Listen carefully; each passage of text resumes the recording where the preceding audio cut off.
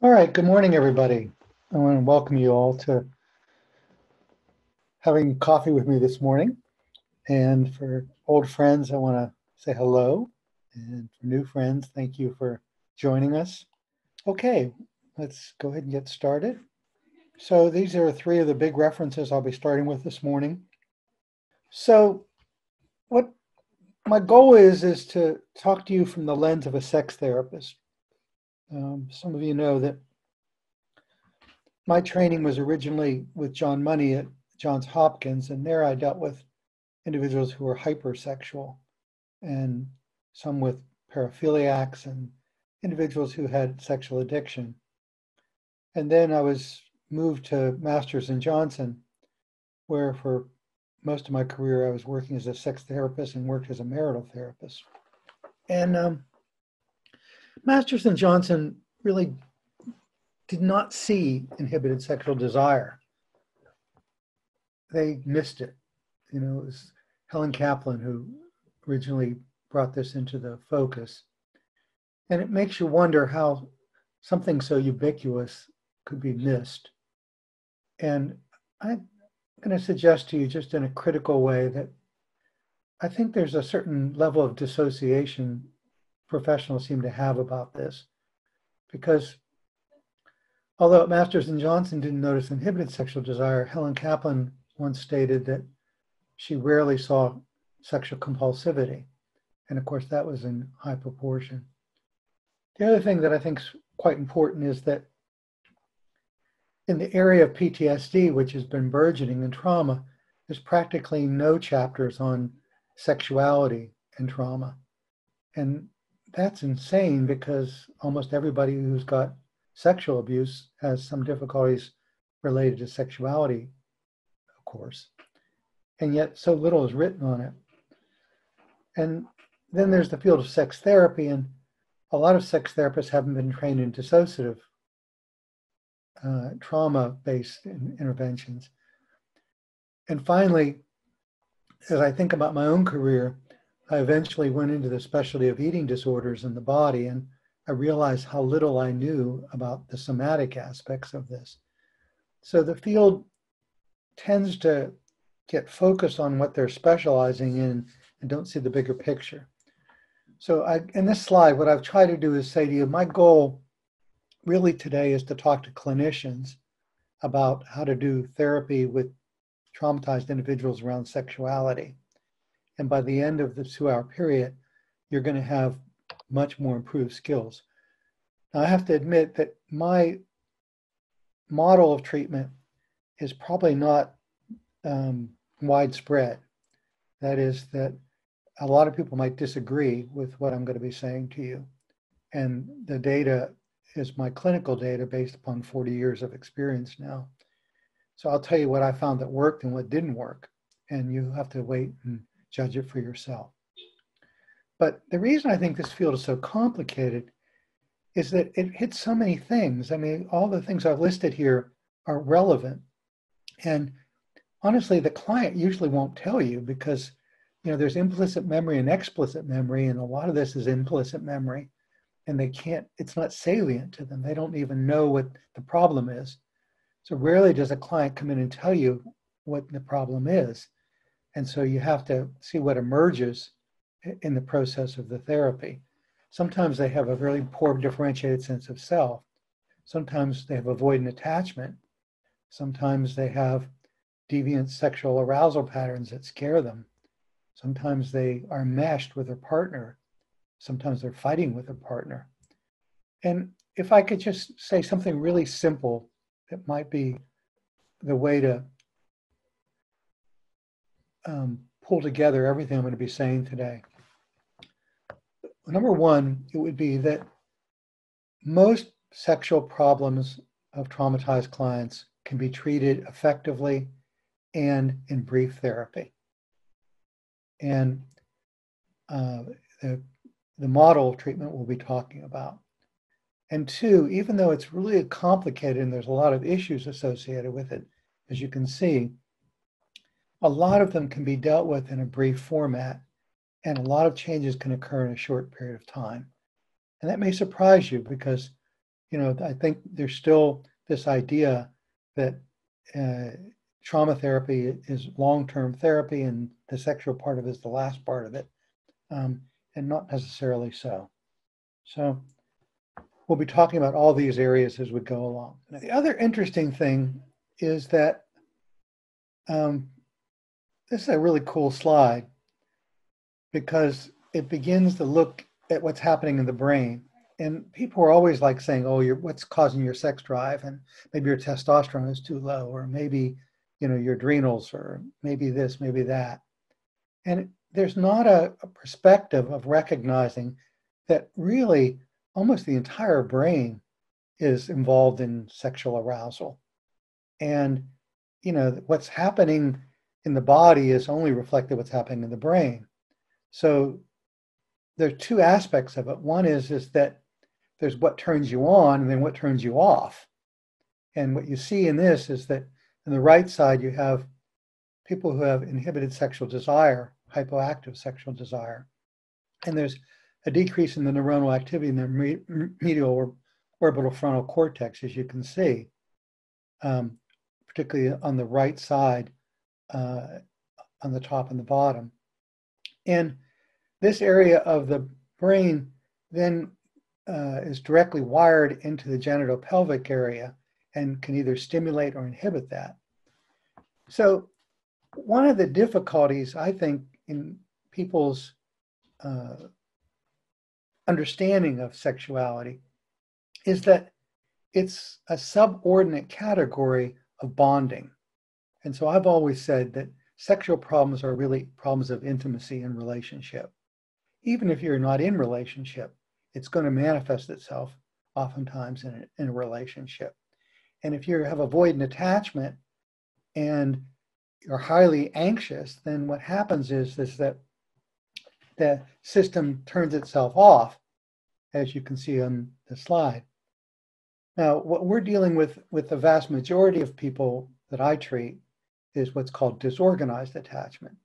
And with disorganized attachment, what happens is, is there's both activation and deactivation simultaneously. So the person gets positively uh, motivated to bond and to connect and to be aroused, and then gets terrified simultaneously. And it's a mirror of what happened in childhood, where the person you depended upon for safety was also your perpetrator. And they both get activated in adulthood. And so sexuality gets both turned on and turned off. And that makes it really confusing. And so understanding that lens is really going to be important for how we treat this, because not only do we have to facilitate the arousal patterns, but we also have to deactivate some of the unarousing patterns. And so, you know, a lot of this has to do with changing people's attitudes that have been shame filled with shame and and and somehow negatively coded.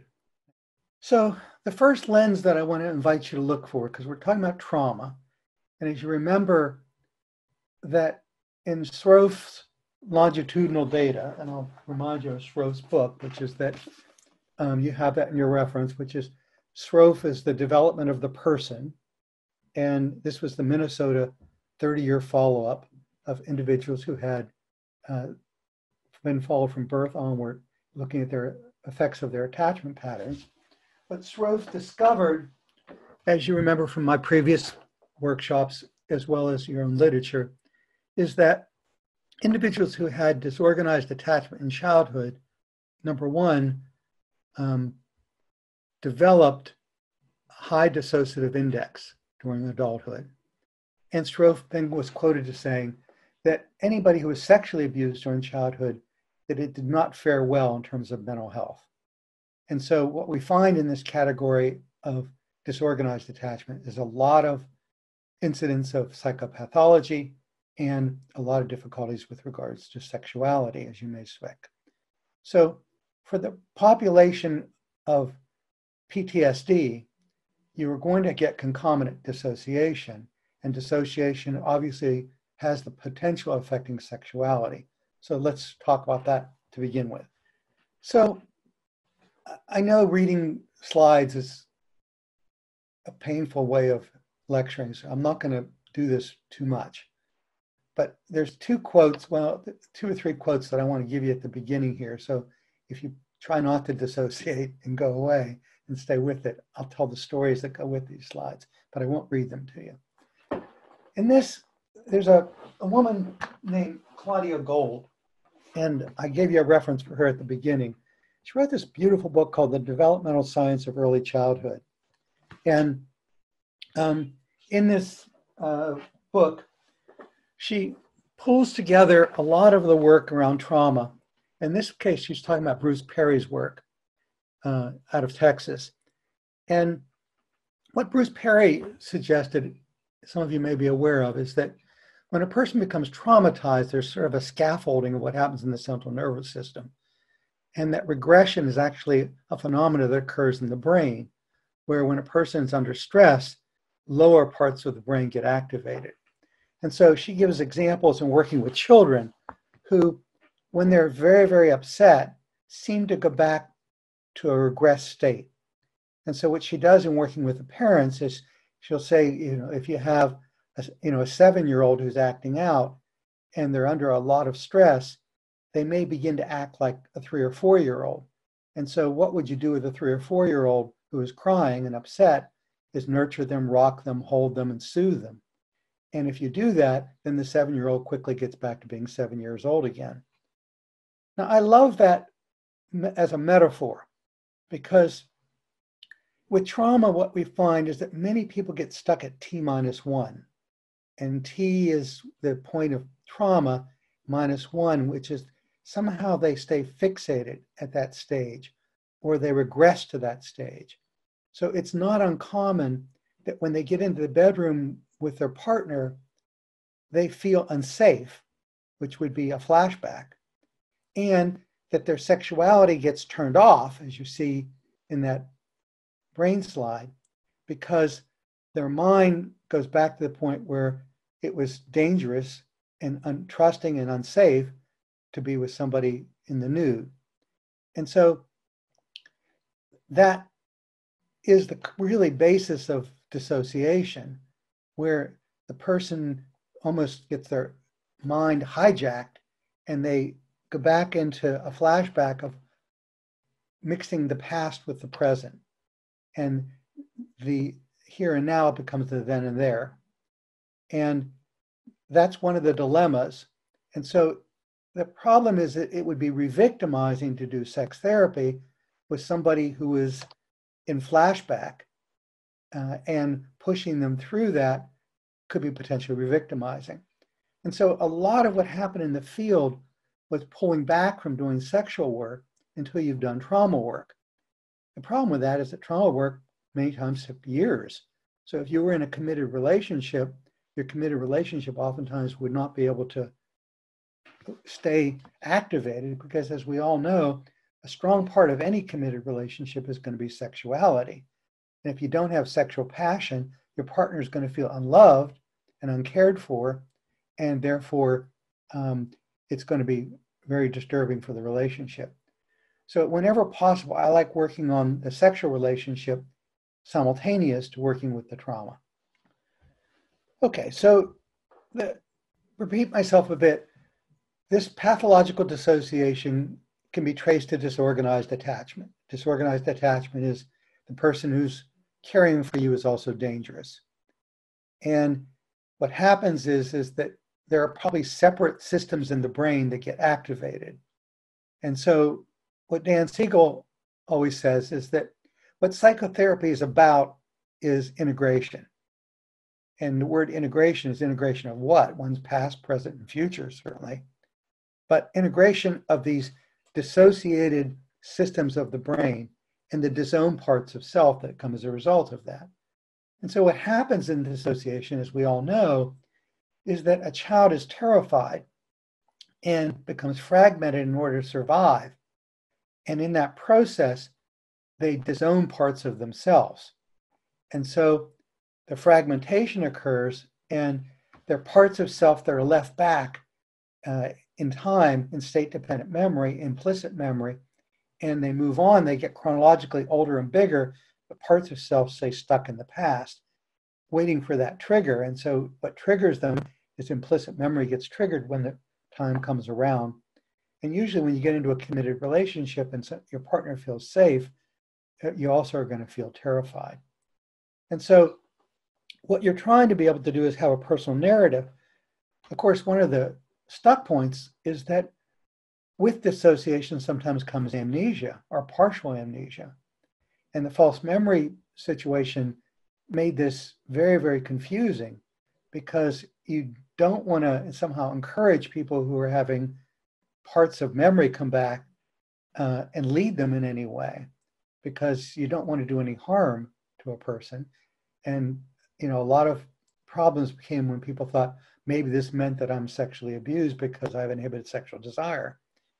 Truth be told, if you go into a gynecologist's office, about a third of women will say that they have inhibited sexual desire.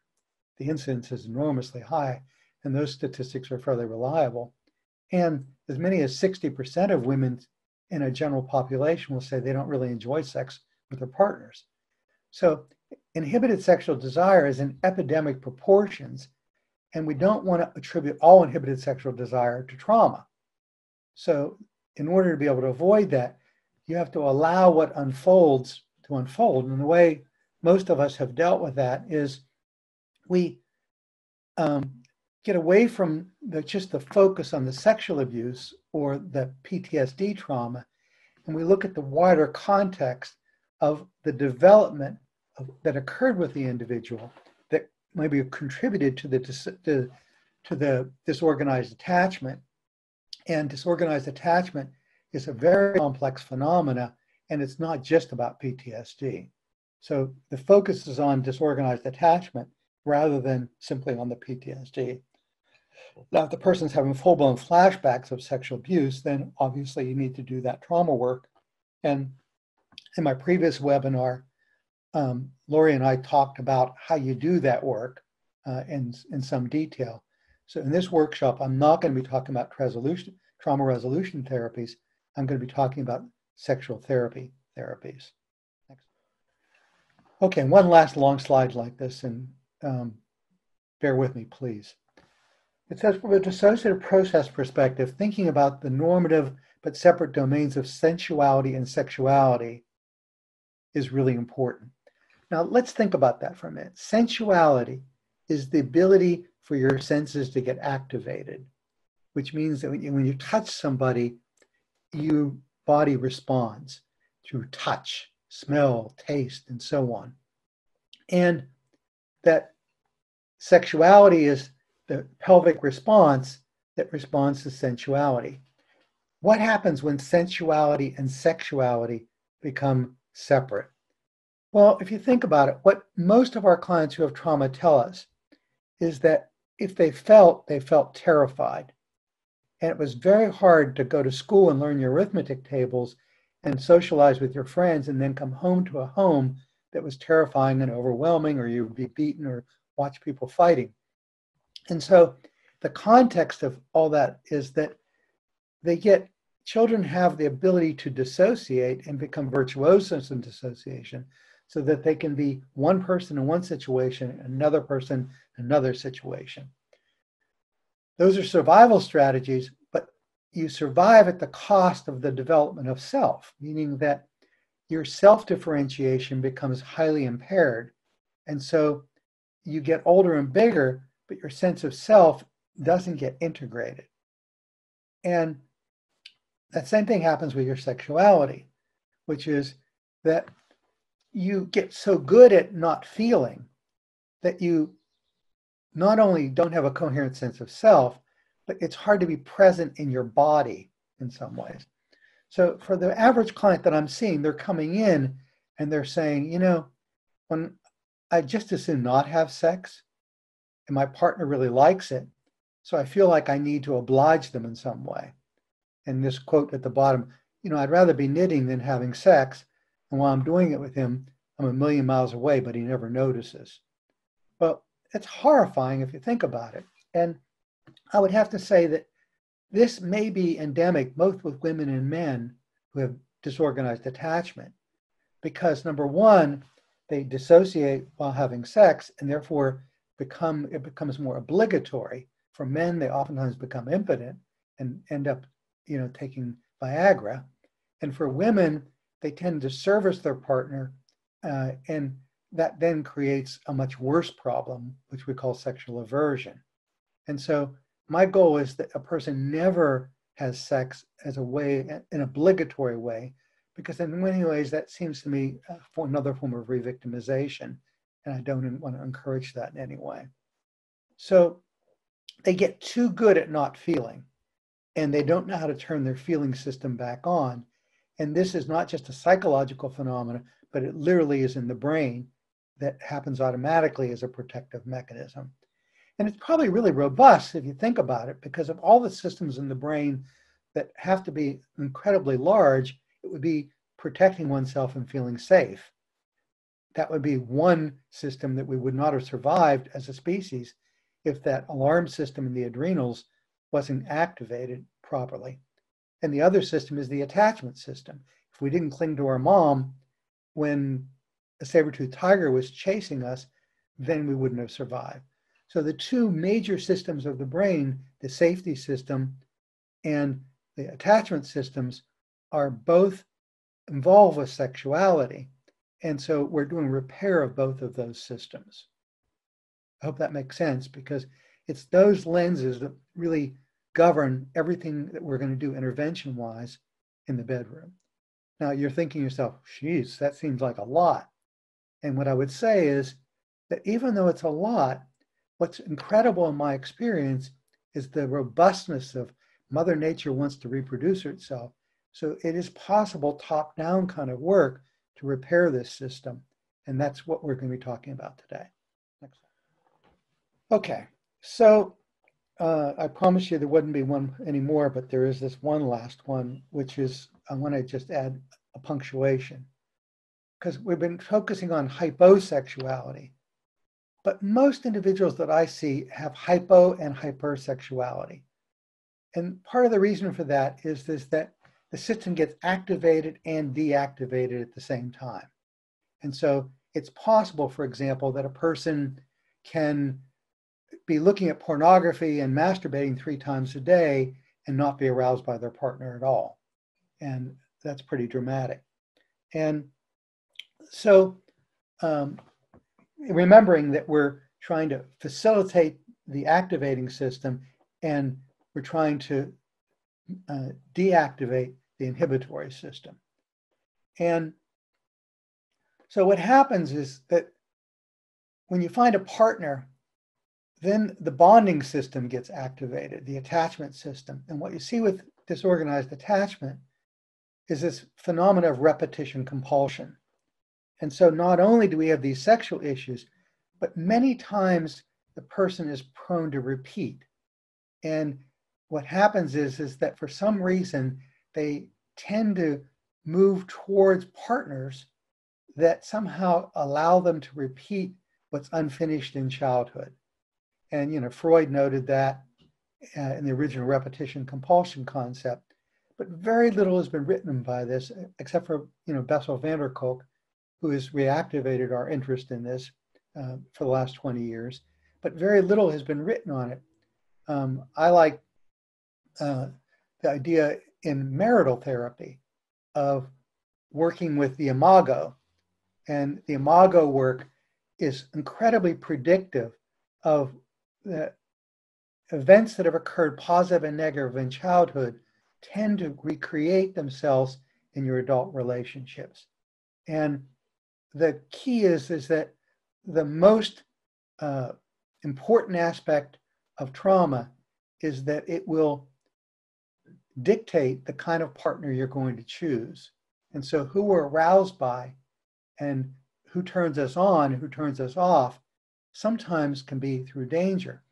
And so, just like when self cutting occurs, you can get high. And it seems weird that you get high from, from something that hurts. We now have sadomasochistic kinds of behaviors where the person needs to hurt themselves in order to get aroused. Now, let me explain it from a different vantage point. When I was with Masters and Johnson, one of the things that we've got interested with inhibited sexual desire is that it's not just a low initiatory behavior, but it's low desire, meaning I don't really like sex, I don't really want it, and that I don't get fantasy, I don't get arousal.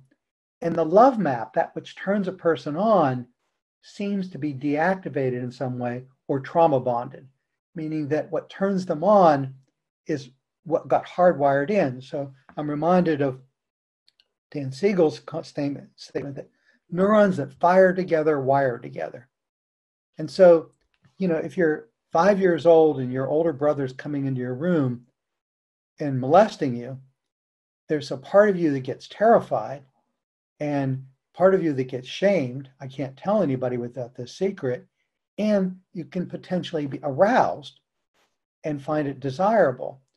But the wires then get crossed, and those wires that get crossed fire together, wire together.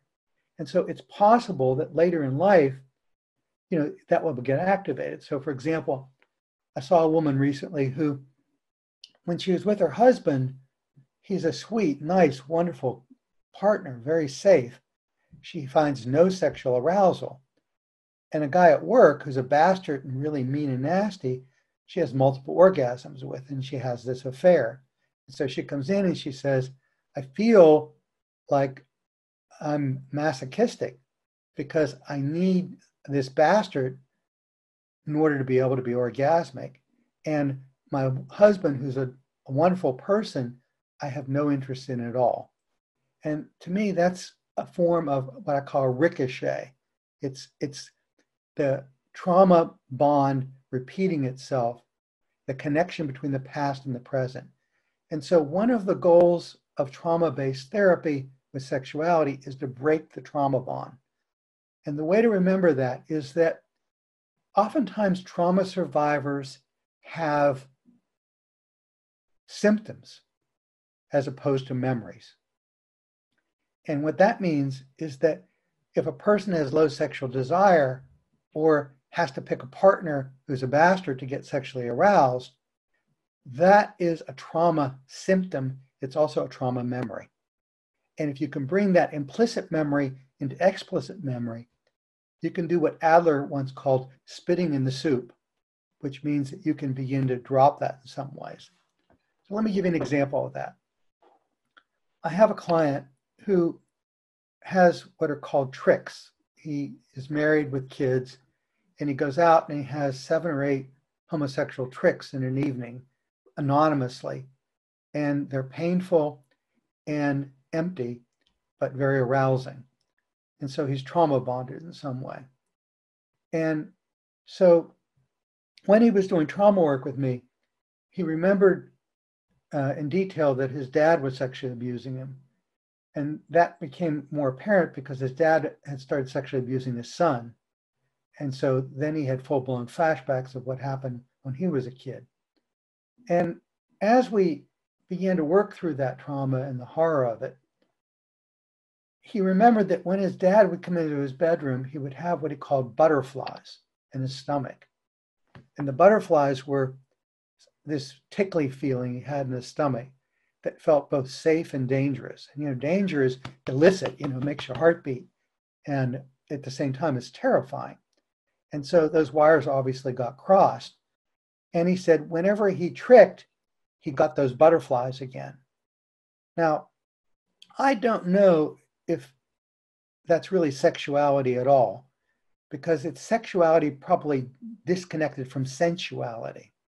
And what was happening was affect dysregulation, excitement, illicitness, and it may not have any bearing at all to what we're calling sexuality. Because when sensuality and sexuality become disconnected, um, we have a different kind of phenomena. Dr. Masters and I, when we talked about this originally, we called such individuals ambisexual. And ambisexual meant that they weren't quite heterosexual, they weren't quite homosexual. They weren't quite bisexual. They didn't seem to have any uh, lens to their sexuality. It was sort of very autosexual. And so ambisexual somehow meant that they could get turned on by anything or anybody without uh, having a subject. And it was very masturbatory. And we saw a whole slew of individuals who were ambisexual, highly dissociated. And this phenomena, I think, is very, very frequent with people who have disorganized attachment, which is that sexuality and sensuality become disconnected in some ways. Okay, so you're probably thinking yourself, wow, that makes a lot of sense, but what do we do about that? Because uh, it sounds pretty hardwired. And the answer is you're right. Um, but it is important to understand that because let me give you a point, which is that if somebody comes in and they're married to someone who hurts them and gets turned on by hurting them, I am not going to facilitate sex therapy because I am not going to encourage someone to be vulnerable with someone who's going to hurt them. It's just a blanket black and white rule. And so I'll do one of two things. I'll do marital therapy with them and see if I can help the person who's moving against to stop it. So, for example, let's say that you have a partner who physically beats you or hurts you in some ways. I would never do sex therapy in such a case because I do not want to encourage someone to be vulnerable with somebody who's going to permanently hurt them. But I will work with that person who's a perpetrator and begin to wake up whatever it is that's getting activated because it's probably trauma bonded in some way. Alternatively, I might refer them out because I'm not going to be part of something that I think is going to be harmful to an individual or a couple. So the bonus slide I think you have at the end of your lecture, and as you pull it up, it, just says contradictory cognitions about intimacy. And I, I, I throw this in, there's 13 pieces of it, but I want you to see how complex disorganized attachment can be. Because disorganized attachment is not only about the contradictory bonding, but it also contradiction about your belief systems. You can believe that others are dangerous, but you need them anyway. You can believe that um, others will disappoint you, but your partner will be different. You can believe that you're unable to care for others, but you do care for one person. So, what's so interesting about disorganized attachment is that one person can believe binary things at the same time. So, you can believe that you're bad and know you're good. You can believe that you're disgusting and horrible and know that you're not. And you can believe that you're fat when you're really not. One of my clients in the eating disorder clinic came up to me one day and she said in the hallway, You know, Mark, I looked at myself in the mirror and I saw myself for the first time today. And my eyes got big and I went into sort of shock. And I said, Hold it, just stop right where you are. I need to know what that means. And she said, Well, whenever I looked in the mirror up to now, I saw myself when I was a teenager and I was overweight as a teenager. And that's what I saw when I looked in the mirror. But now when I look in the mirror, I see myself the way I am and I'm not fat at all. And I went, I was just amazed that something in the brain could hijack the eyes so much. But the more I listened for that, the more I realized that so many of the individuals, what they were experiencing was really out of reality. It was a flashback from the past. For example, one person, when they looked at their genitals, what they saw was the, the genitals of a child, but not the gen- genitals of an adult. And the feelings that they had were the feelings of being a child rather than the feelings of being an adult. So we, most people who've never had dissociative experience have a hard time getting a frame of reference of where the brain can be so activated that you can go into an altered state. I have a funny joke about this, which is one time I visited my family, and uh, I come from a fairly dysfunctional family. And uh, when I visited them for Thanksgiving, we were all together, and I lost my voice. I couldn't be myself. And as much as I tried to be able to speak, nothing came out of my mouth. And when I got back home, I started to laugh because I realized that I became like I was when I was 12 years old. when I was around my family. That trigger must have elicited a different state in my brain, and I became sort of stuck at T minus one. It just so happens that my father died when I was 12, and a lot of PTSD trauma occurred around that time. So I got stuck at T minus one, and it took that trigger to be able to bring it back. So I realized that this phenomena isn't so uncommon, it's just that we don't see it. And we believe we have free will, but there are many circumstances where clearly we don't. And if you need proof of it, look at your history of relationships. And oftentimes you will get in relationships that you know are not healthy for you, but you feel kind of trauma bonded into it anyway. So these phenomena are much more common than we're willing to give credit for in certain ways. And it's that trauma bond that becomes important. Because what happens is you can believe two things at the same time. Uh, sometimes beginning therapists will come in and they'll say, Oh, you're not bad. Sh- sh- sex isn't bad. You're not disgusting. And the part of self that believes that they are feels misattuned and not understood and wants to run.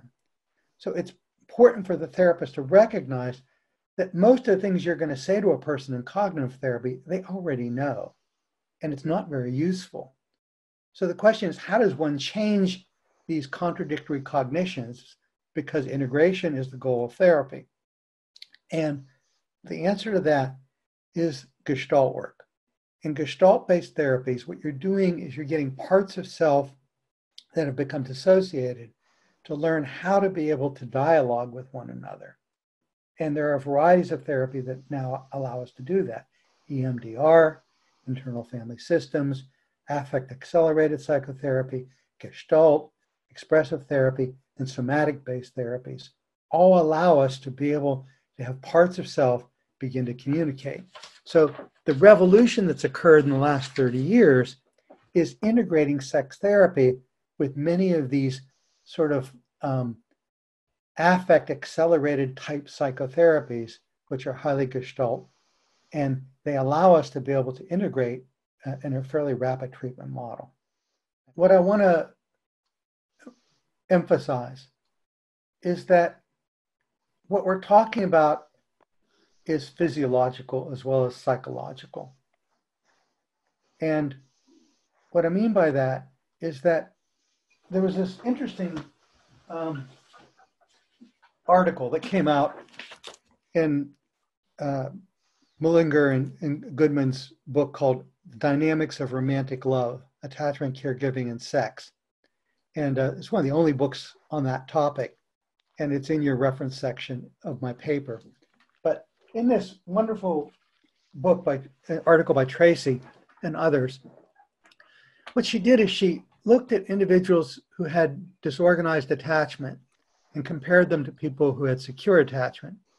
And what she found was that when they were adolescents, that they had sex with the same frequency of the securely attached. But what they said was they were doing it because of peer pressure and that they did it to please the partner out of curiosity.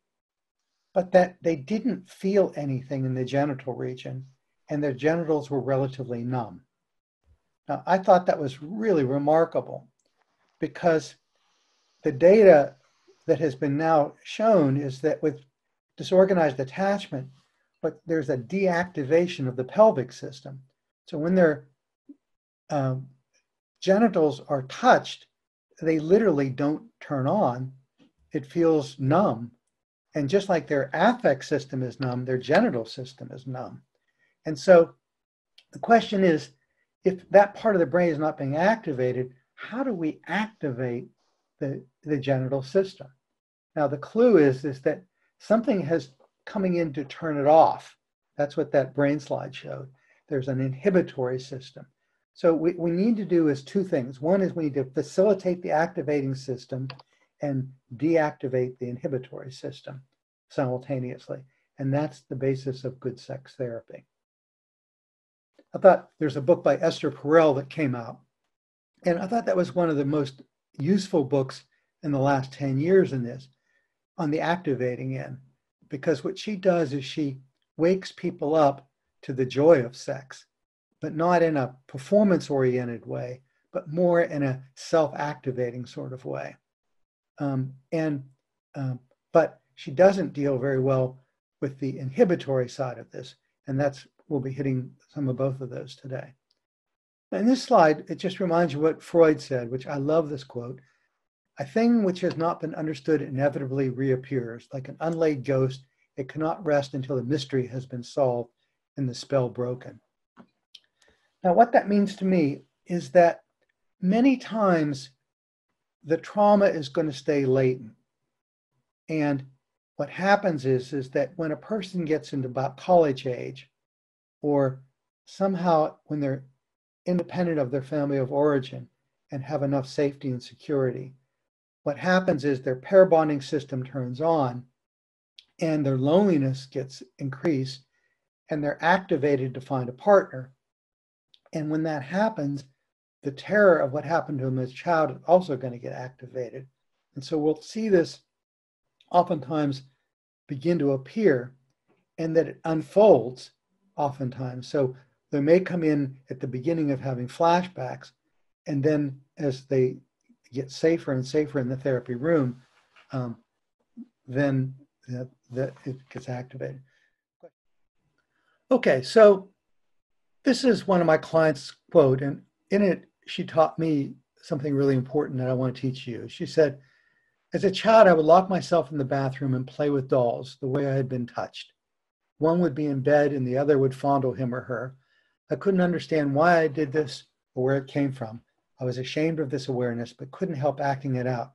I thought the shame belonged inside me, that the awareness was created solely from me. So, the first point of this is that once a person has been sexually abused, then their brain can't integrate it because it's overwhelming. It's an implicit memory. And the person may not even remember what happened to them, but their behavior will reenact it. And so they may have genital pelvic arousal and movement. And so they might start compulsively masturbating um, and feel shame and defective from it in certain ways and not understand where it came from. So to me, it's a re victimization to not even remember, but somehow feel like you're bad. Then she says, during the teenage years, I turned to boys to duplicate some of those feelings, being cared for or loved. I knew I was fooling myself. I found an emptiness that I was left with. That's a really important statement. After my liaisons with boys, but it was all I had. I was desperate to feel love. My need for affection was so great, I couldn't say no. So your ability to say yes and no st- stays fixated at T minus one. And so you don't feel powerful or in control. And therefore you get re victimized over and over again. And so the average person who's molested as a child might get raped six, seven times after that before they come into our office. In addition, they oftentimes now turn to pornography. So what happens is they don't know remember what happened to them, but they'll start looking at more and more pornography, feeling saturated, needing more and more stimulation to turn themselves on. And oftentimes their pornography becomes illicit, thereby sort of punctuating this idea that they're deviant and bad, because why else would they look at deviant fantasies or arousal patterns? Now, what happens when they do that is they're hardwiring into their brain not only deviant arousal patterns, neurons that fire together, wire together, but also the absence of sensuality. Instead of turning on by touch, they're turned on by vision. And it works because it's safe to get turned on to a, to a pornography on a screen because it's not a person who's going to hurt you. And so it becomes highly activating to turn to pornography, except for it gets boring and it's you're lonely and empty. So then she says, Do you want to know why I had my tubes tied? And she says this to her mother. Because whenever I thought of myself around a child, a mental image would appear. That image was clear, and I believed it with certainty. I saw myself not being able to control the things that lived in me from you. I saw myself fondly, fondling sexually my own infant. Now, that is a flashback that is getting reactivated. But then the person worries that they're going to hurt another individual. And that's the beginning of victim becoming victimizer.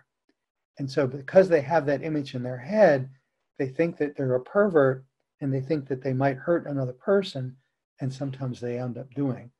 So when we started asking people these questions, what we found was that it was not uncommon for young people who'd been sexually abused to touch while they were babysitting as a way of trauma bonding in some ways. And it was far more common than we had recognized. So victims oftentimes become victimizers. They victimize themselves and sometimes other people um, as a way of reenacting or trauma bonding. So in the previous workshops that I've done, what we've emphasized is in working with the associative nature of sexuality, it's important to reclaim the parts of self that were sacrificed to gain safety. Obviously, this is a psychoanalytic, psychodynamic model, and we haven't thrown the baby out with the bathwater. But in more Gestalt kinds of work, when we ask them to turn to that injured part of self, they hate it, they blame it. And oftentimes that includes the body. And so they hate their body, they hate their genitals, and they have body dysmorphia. One of the things that we found in the eating disorder clinic was that almost, you know, with more than 50% frequency in our experience, bulimics who were binging and purging had been sexually abused in some ways. And so the connection between being sexually abused as a child and binging and purging needs delineation. And what happens is you have to somehow attack the body. You have to punish the body. The body's bad. And natural functions, which are an appetite, needing to love, and food, need to be controlled in some way. And so at the origin of bulimia, oftentimes is the need to somehow feel in control, to punish, to hurt. And so we underestimate body dysmorphia. It is a nasty syndrome. And being able to help a person do that really requires somatic kinds of therapies. And if you think about it, you know, the, the pioneer for somatic therapy was um, Pat Ogden when she wrote this book, Trauma in the Body. And it's referenced at the beginning. And, you know, this is a relatively recent book, and the beginning of somatic based therapies certainly came for Pat. But a lot of these were dance movement therapists who really were allowing themselves to begin to understand movement of the body. And so, another component of what we're talking about here is A, the ability to move the body and feel comfortable in your own body, and the ability to feel the feelings in your body. And so, there is now a new term we had a term called alexithymia, which is the inability to recognize emotions and emotional states. And now we have the term alexisomia, which is the inability to put words to sensations of the body. And so, you know, if I touch the inside of my arm here and I do it really lightly, it feels kind of tickly, it feels kind of soothing, it's really smooth and I can feel my arm, I can feel my fingers. There's a lot of sensations that I'm feeling. But if you have alexithymia, you cannot put words to your experience. And there is this huge number of people who are not in their bodies, they're outside their bodies. And so if you ask them, you know, did you notice the flowers when you came in today that are blooming and the colors? They'll look at you and they'll say, What flowers? What color? And most of us are not in our bodies because we're so overstimulated in certain ways. But add to it that you have alexithymia and alexisomia, and you're not paying attention to that. And literally, you're not in your body. You're dissociated. You're outside your body because that's the only place that would be safe. If you could be in your body, you would feel. And if you felt, you would feel terrified. And who wants to feel terrified? So there's motivated. So we call these systems protective, meaning that they once allowed you to survive, but now are creating your inability to connect and feel safe with other human beings. Because connection and safety, you must be in your body. So, you know, if you think about what I've said so far, you got to be a sex therapist, you have to be a marital therapist, you have to be a trauma therapist, and you have to be an eating disorder therapist, and then you have to be able to work body dysmorphia. I mean, these are a lot of skills. And each of them require a certain amount of training that are associated with it. Um, and what happens if we don't assess these things and diagnose them on the front end, then the client won't get fully better and they'll they won't be able to see it. So we have to be able to assess and diagnose these things in order to be able to do it. So we have scales that assess body dysmorphia, so on. Now to add to it, you know, we're getting a lot of addiction. So people are now addicted to marijuana and addicted to alcohol on top of this. And so, you know, they're going to 12 step meetings and thinking that's the therapy. And it's certainly a step in the therapy to get sober. But, you know, they were using marijuana and they're using alcohol to numb themselves out because it's a protective mechanism because they don't want to feel. And so most people who treat addictions now are teaching people how to be able to deal with alexithymia and alexisomia. But if they start feeling, they're going to remember and they're going to feel, and it's not going to feel very good.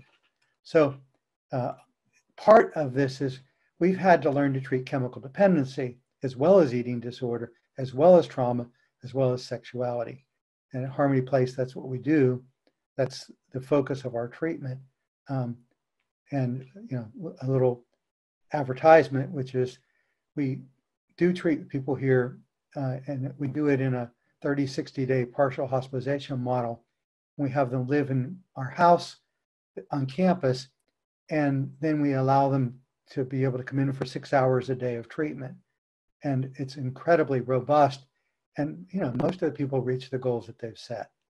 That's all the marketing I'm going to do today. All right, now let's turn to sexual arousal. Because in low sexual desire, remember, it's not just initiatory behavior but it's also the genital pelvic region is not getting activated. And the fantasy patterns, the uh, love map is not being activated. So we have to pay attention to that variable also. Okay, so as I've said to you, that the, the common pattern for us is hyper and hyposexuality at the same time. And the, the reason is because they're intimacy disorders. I can't get close to anyone. And so um, when I'm having sexuality, I'm not really having sensuality. So you can masturbate uh, six times a day and not enjoy being with your partner. And that's more common than not in my experience. And since I treat sex addiction, what I find is that people who have been sex addicted, once the sex addiction's in remission, they oftentimes turn to hyposexuality and they can't get turned on by their partner. So we usually have to treat hypersexuality and hyposexuality simultaneously. Um, and so what happens is that it's disorganized attachment, two parts of self are getting activated, the excitatory and the inhibitory. All right, so when the template formed was based on early experience of terror. And so they're getting both simultaneously. And so I had a client in my office yesterday, and she said, I need your help. When I'm with my partner, in this case, it was her wife, I don't seem to be able to reach orgasm. And in order to be able to reach orgasm, I have to imagine the incest I had with my brother. And that's very yucky. It makes me feel bad about myself. Now, in the a lot of the sex therapy literature, what they will say is, is that, hey, it doesn't hurt anybody to fantasize. And if you need to fantasize that, no problem. Just use it. You don't have to feel like it's disgusting. I reject that. I don't like it. I don't think it's right. I don't agree that anything you fantasize is okay.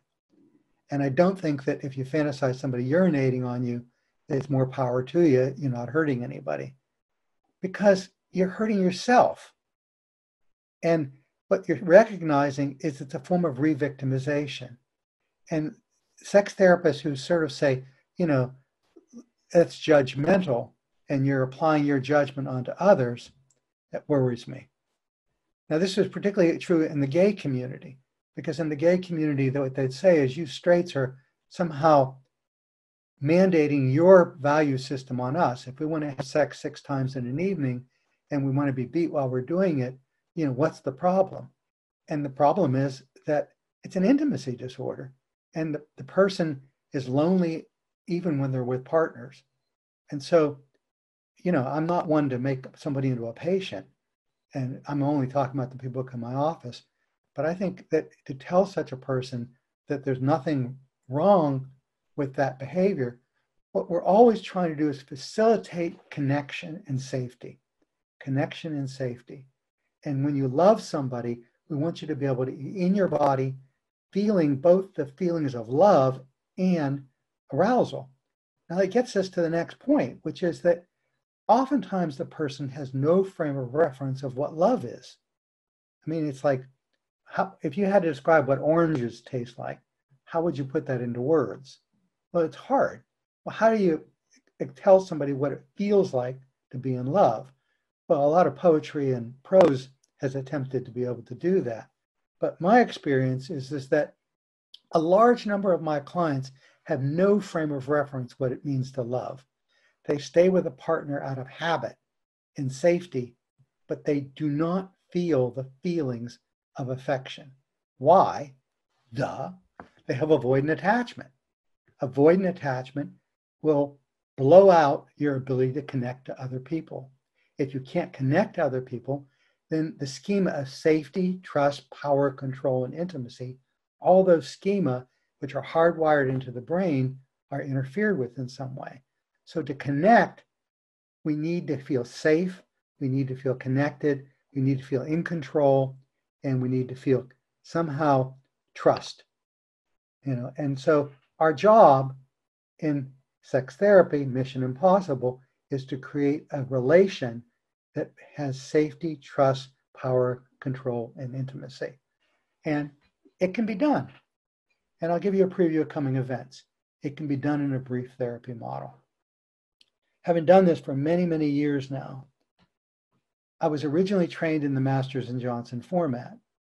And Masters and Johnson had people come in for two weeks, 14 days, and live in a hotel and spend 100% of their time together. And they worked in marital therapy on building safety and trust in the relationship and dealing with individual factors that block that. And they dealt with sexuality by doing sensually based kinds of interventions. And in that format, they had a very high success rate. And when people began treating inhibited sexual desire, they threw away that model because they thought that was only for sexual dysfunction. But truth be told, that's a highly robust model for dealing with sexual arousal and desire problems. And my experience is that the closer I stay to the original model, the higher the success rate. Many couples will come in and they say, oh, I can't take two weeks off of work, or who's going to take care of the kids, or I can't afford it. And so I'll see them once or twice a week you know, for over a month period of time. And my experience has been the further I get away from the model, the less frequent I see them over a longer period of time, the less successful I am.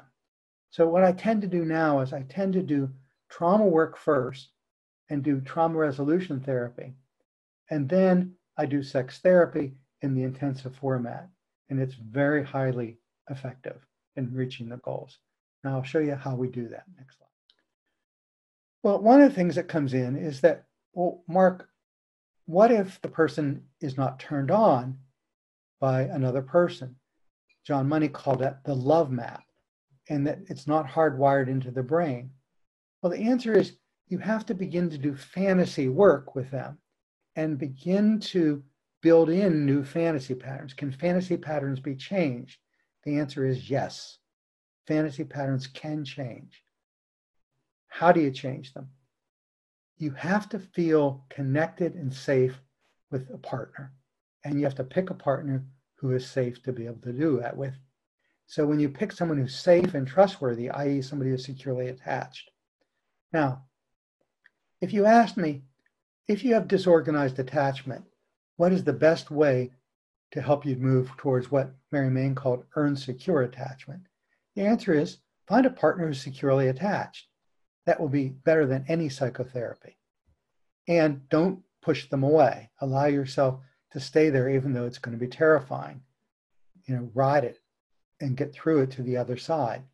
And you will find that will begin to change the terror and fear system, safety and trust in your mind. And what will happen is naturally your fantasies will begin to turn to that partner. So, what we do is we facilitate arousal to a safe partner while beginning to condition out the, the deviant or somehow undesirable fantasy. And so, it's a simultaneous process of knocking out the, the fantasies that are trauma bonded while building in the fantasies of someone who's desirable. You're saying, well, Mark, are you saying you do that in a two week program? Absolutely. But it doesn't finish itself in a two week program. I oftentimes like the Buddhist principle that if you want to play the violin, you don't pick up a violin and play it today, but you have to practice it for a half hour a day. And if you do that, you'll get really good at playing the violin. Well, if your brain has been trauma bonded over a long period of time and it's been cemented through masturbation and pornography, this is not going to change itself in a short period of time. But you have to just practice the violin every day. And so we give them a, a set of patterns to be able to practice on a daily basis to change that habit. And if you can begin to fantasize someone who's safe and who loves you, and you can begin to knock out some of the, the trauma bonded fantasy. And we do that partly by what we are talking about by spitting in the soup, but also through operant and uh, conditioning kinds of techniques, which I'll refer to a bit later. And I wrote about in my paper. Now, as I've said, it is now more common than not that somebody who's been sexually abused or now we're talking about a broad range of trauma, not just sexual abuse, but oftentimes disorganized attachment is a multitude of horrific things happening to a human being, both in and out of the home. And uh, it also includes neglect. Now, with eating disorder, what you find something interesting, which is that it, you don't get trauma in the traditional sense with anorexia, but you oftentimes get enmeshment. And with enmeshment, somehow there's been interference with individuation. And so tra- traumatization can begin with uh, a person who is not allowed to individuate, and that um, on the other end, they're individuals who have been hurt in some ways. So when we talk about trauma, we, we need to define what we mean by trauma. And neglect is trauma, enmeshment is trauma, and abuse is trauma. And all three of them have very similar long term effects. A lot of our anorexic clients will come in and they'll say, you know, I've not been locked in closets and burned out with cigarettes, and therefore I don't deserve to be here. And they have to learn to understand that somebody who keeps them from individuating, who's enmeshed with them, who doesn't allow their self to develop, can be as harmful for that individual in the long run as somebody who's locked in closets and burnt with cigarettes in terms of the long term effects. So, what will happen then is too, eh, eh, too much inhibition. And so the person is terrified. And while they're enmeshed with their family, they're not learning how to operate in the world. And so things happen when you're five years old, seven years old, nine years old, 11 years old, 13 years old. Learning takes place. But if you're traumatized, you isolate and you don't learn those things. And if you're enmeshed, you isolate and you don't learn those things. And so the common factor in both of those is the lack of individuation and what Greenspan calls structural deficits. They learn, learn structurally to have boundaries, to show uh, uh, bonding kinds of gestures. So something like how to solicit someone, that's something really important. A phenomenon which might be called seduction. Think about it. Seduction is an important part of eroticism. Moving towards somebody who you're really turned on by, being able to flirt with someone who you really interests you. If you don't know how to do those, if they're terrified, you're never going to be able to get into a sexual relationship, except for if you pick up the phone and call one of these dating sites at three o'clock in the morning and say, Hey, do you want to come over and screw me and have anonymous sex? And so we have this huge number of people coming into my office that are somehow um, going on these websites and having anonymous sex in a very dangerous way and repeating the trauma bond. And it's very, very scary. And so they lack the solicitation, courtship kinds of abilities. And instead, they're trauma bonded and they go from to in some ways. Now, if you then apply that to being married, let's say you find somebody who likes you and you have, um, let's say, anxious attachment, the other end of avoidant attachment, and you'll bond promiscuously with anybody who wants you because of anxiety. So you cling on to somebody and you have that anxious attachment kind of pattern. Then what happens is, is that oftentimes you get into the bedroom, you don't know how to touch, you don't know how to hold, you just have intercourse, and you think intercourse is is vagina, vagina, penis to penis, genital to genital, and that is not sexuality. That is something else. It's maybe fucking or copulating, but what we're talking about is they have no frame of reference of the whole body response in making love to another human being. And so when we say making love, we don't articulate what's involved in it and what you mean by it and what somebody who's had attachment problems means by it can be night and day. And so part of the therapy is understanding the structural deficit the person has and also the body may get terrified by this. I have clients who have PTSD that are in the military that I'm seeing from Afghanistan and Iraq. And the only way they can feel is by jumping out of airplanes. And they all want to go back to Afghanistan and be shot at and maybe killed in battle. And it's horrifying to me that even though the experience is terrifying, it's the only way they can feel alive. And that's an ultimate trauma bond. But it's not a whole lot different than a client who's saying that in order to get aroused by my partner, I need to have them slap me or beat me or do something painful to me. Um, and where I have to imagine my perpetrator. Now, how common is that? Let me tell you something interesting. When I was with Masters and Johnson, we did a, a random sampling of the population to look at fantasy and arousal patterns because we didn't know what normal was. And what we found is that in the top five fantasies of women who were not complaining of any sexual problems in the normative population, there was a high frequency of imagining somebody uh, who was faceless, who was holding them down while they're having sex. And they used this fantasy pattern when they were with their regular partner.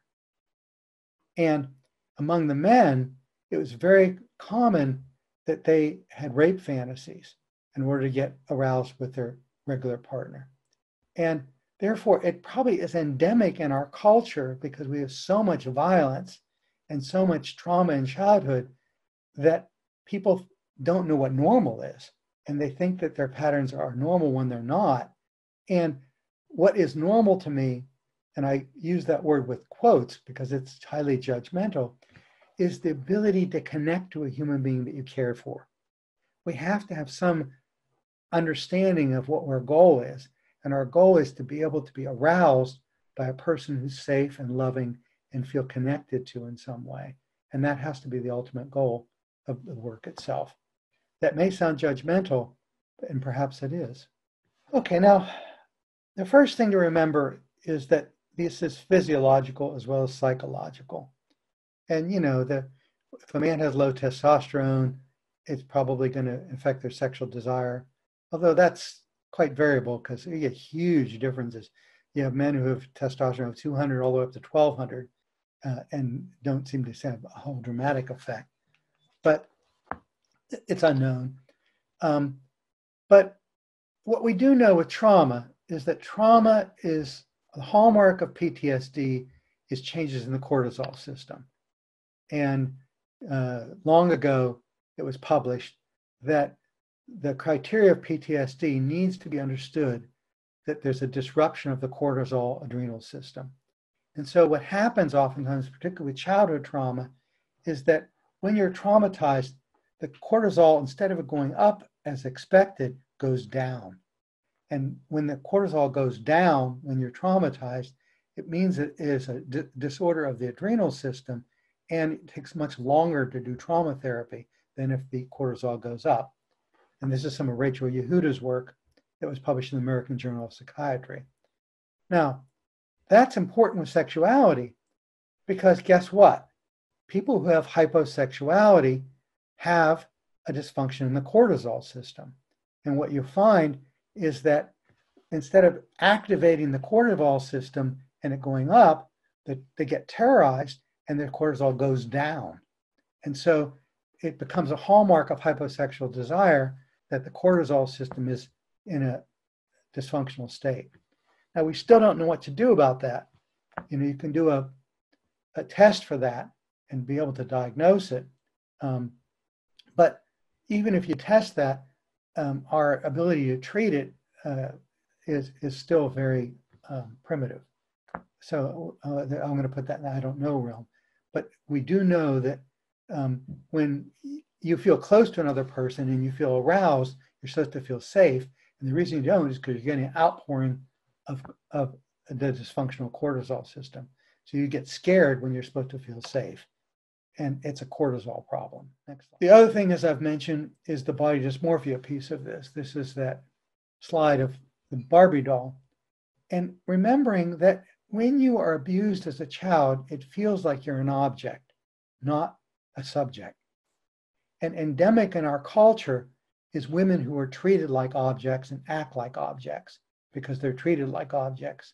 And so, so much of their sense of self is defined as, you know, how large their breasts are, or how small their breasts are, or how sexy they are, or all the body things that are with weight and so on. And so since it's endemic to be objectified, um, the idea of being an object in sex is that you kind of lay there and are done too because you feel like an object. Or the alternative of that is, you know, you you know breathe ah, ah, ah, and exaggerate it and somehow in order to be sexy.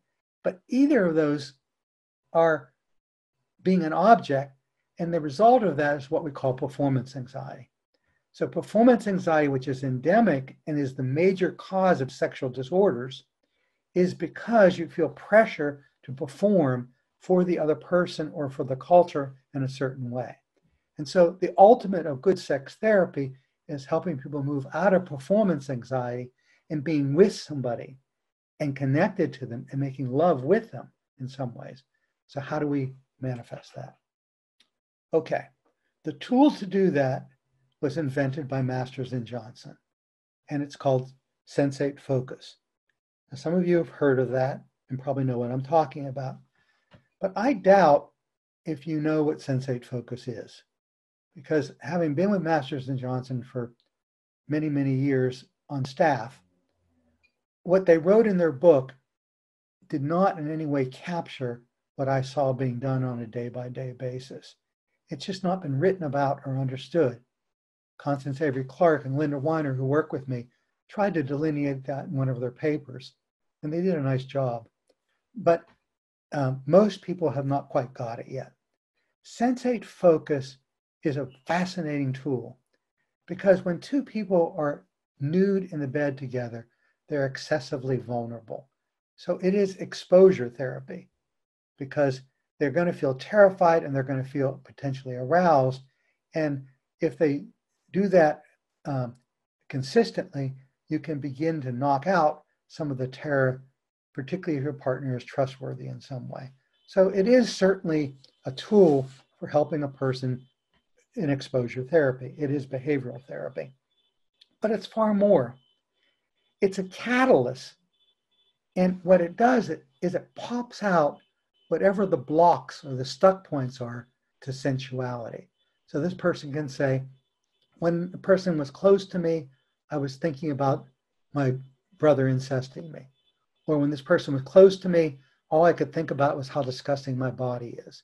And when this person is close to me, I had to think of uh, nothing at all. I had to numb out. When this person was close to me, I had to feel pain in order to feel any. When this person was close to me, I felt disconnected. I felt alone. And so all the blocks to intimacy get popped out when you put them in this vulnerable situation. And when they pop out, you can diagnose it, assess it, and treat it. Because the client's never going to tell you. What they has to do is you have to have it pop out in some way. So in Sensate Focus, here's what you say. I want you to go home tonight and I want you to take off your clothes and I want you to take off your partner's clothes. I want you to have some light in the room and I want you to touch your partner, breasts and genitals off limits. I don't want you to give them a massage. I don't want you to somehow make them feel good. I don't want you to turn them on. But I want you to touch for yourself. Now, what does that mean? When you touch for yourself, it's a sensual experience, not a sexual experience. And so, for example, if I take this rock and I have a sensual experience with this rock, what I notice is that it's sharp to my fingers, that it's I can see the light reflecting off at my eyes. It's purple and quite pretty, and yet the other side is sort of dark and kind of rock-like, but there's crystal in between. Now I could spend, if I was a poet, maybe 15 minutes talking about this. So I try to find frame of reference. If a person's a golfer, I get them to talk about golf. If a person likes to go out to Yosemite, I get them to talk about Yosemite. If a person likes to walk in the woods and see the redwoods, then we go see the, the redwoods. Whatever their frame of reference of sensuality is, most people have it. And I want them to be able to experience their partner through that framework in some ways. Now, what have I done? Well, it took 25 years perhaps, but Thich Nhat would call that mindfulness. What is mindfulness? It means getting back in your body and associating sensuality with sexuality. What an ingenious modality. It does two things at the same time. It does exposure based therapy, it puts sensuality back to sexuality, and it pops out all the blocks that are somehow interfering with that. And we call those now stuck points. Stuck points are what's blocking a person. So here's the way we frame this if you have trauma in your childhood, you're entitled to not be sexual. Now think about that term word. It's a I borrow it from Bernie Apfelbaum. And Bernie Apfelbaum said, if a person has destructive, shameful experiences associated with sensuality in childhood, or the people who love them hurt them, then they're entitled to not feel sexual. If you have a partner who hurts you, you're entitled to not feel sexual. If you have a partner who doesn't like you, you're entitled to not feel sexual. If you treat your body like an object, if you have body dysmorphia, you're entitled not to be sexual. If you're terrified, you're entitled not to be sexual. And so the key of sex therapy is giving person permission to not be sexual. Isn't that interesting? It's all paradoxical. So Sensate Focus catalyzes the stuck points. Ingenious. So, okay, let's say we get through the first stage of Sensate Focus and they come in, they say, I touched my partner, it felt good. No, that's hyposomia. I, I do not alexithymia. I, feeling good. What does feeling good mean? What did it feel like when he touched your lips? What did it feel like when he put a hand in your hair? What did it feel like when she touched your face? What did it feel like when they touched your thighs? We want the person to begin to articulate the internal state that goes with the experience. And what we want to begin to do is model it and role play it in certain ways, beginning to turn the system back on. Now you're saying, well, does it work? the answer is yeah. I mean, Mother Nature is pretty robust. and you know those sensations are there something is blocking it now that it's like asking can you teach a person who's not feeling how to feel and the answer is yeah you have to just have to find what's blocking them from feeling and then give them a vocabulary of feeling what, what, with alexithymia it's the same thing you have to give them a vocabulary of what they're feeling and give them permission to be able to feel it so in sex therapy there were stages. The first stage is called permission giving. The second stage is called limited information giving.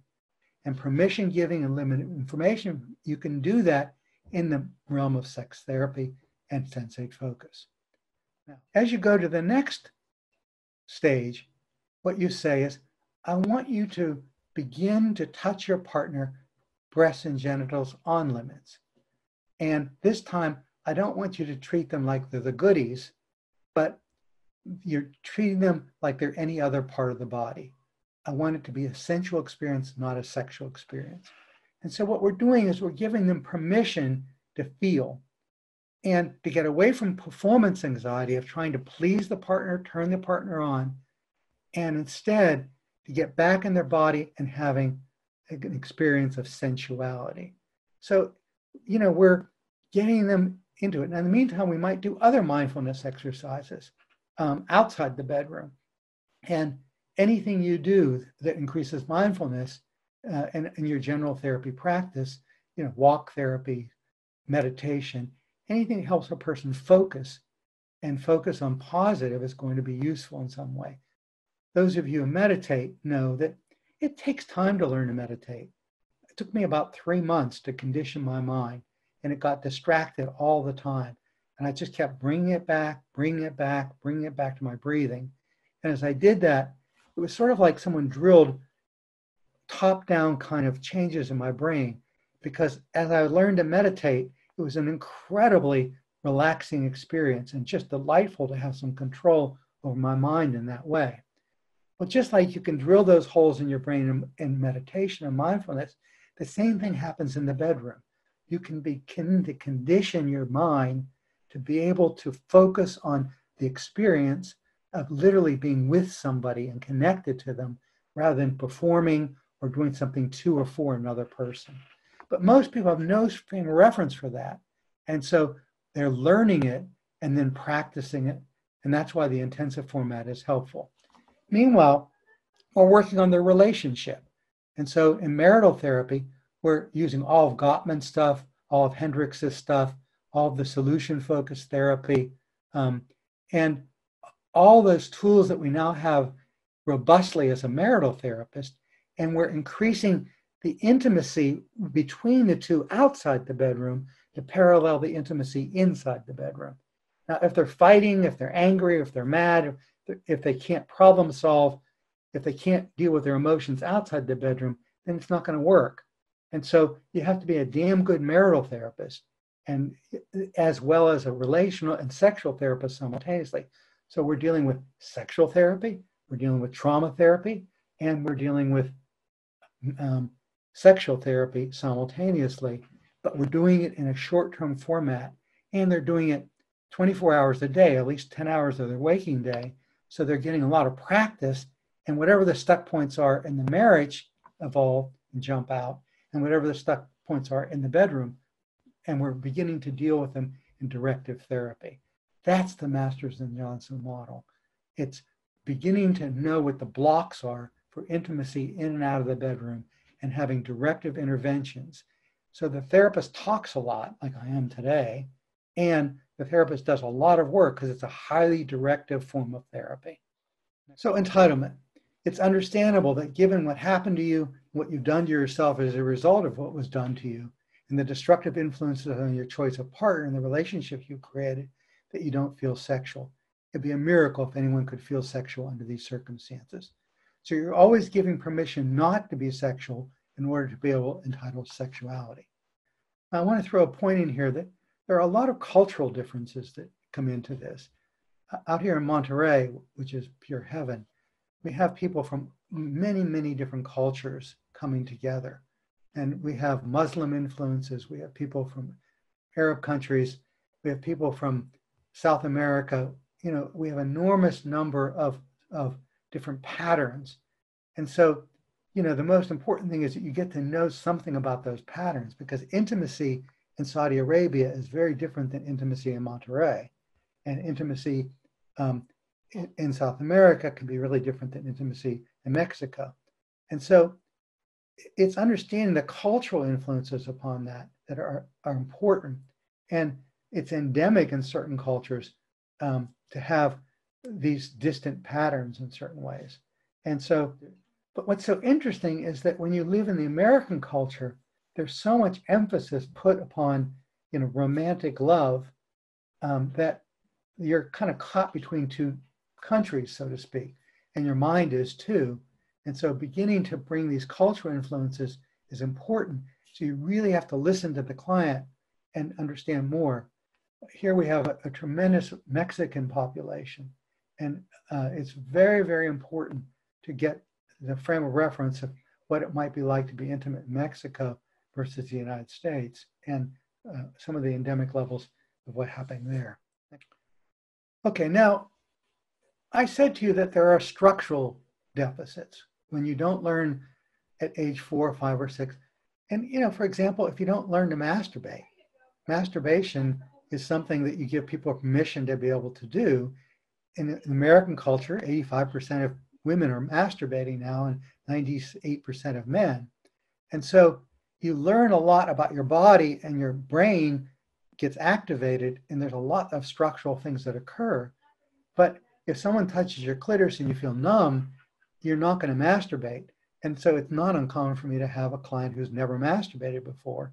And therefore, it may be that you want to begin to work with them in masturbatory behavior before you have a partner, because you know then all you have to do is help them deal with their body and with themselves.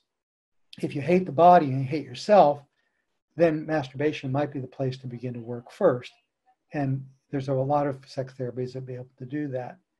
Because then you can begin to feel the body tension, you can begin to move your pelvis. But you know, the interesting thing is that so many of the clients I see have no frame of reference of what play is. Think about it. Play is goalless activity that you do just for the fun of it. Now, if you never got a chance to play as a child, do you know how to play as an adult?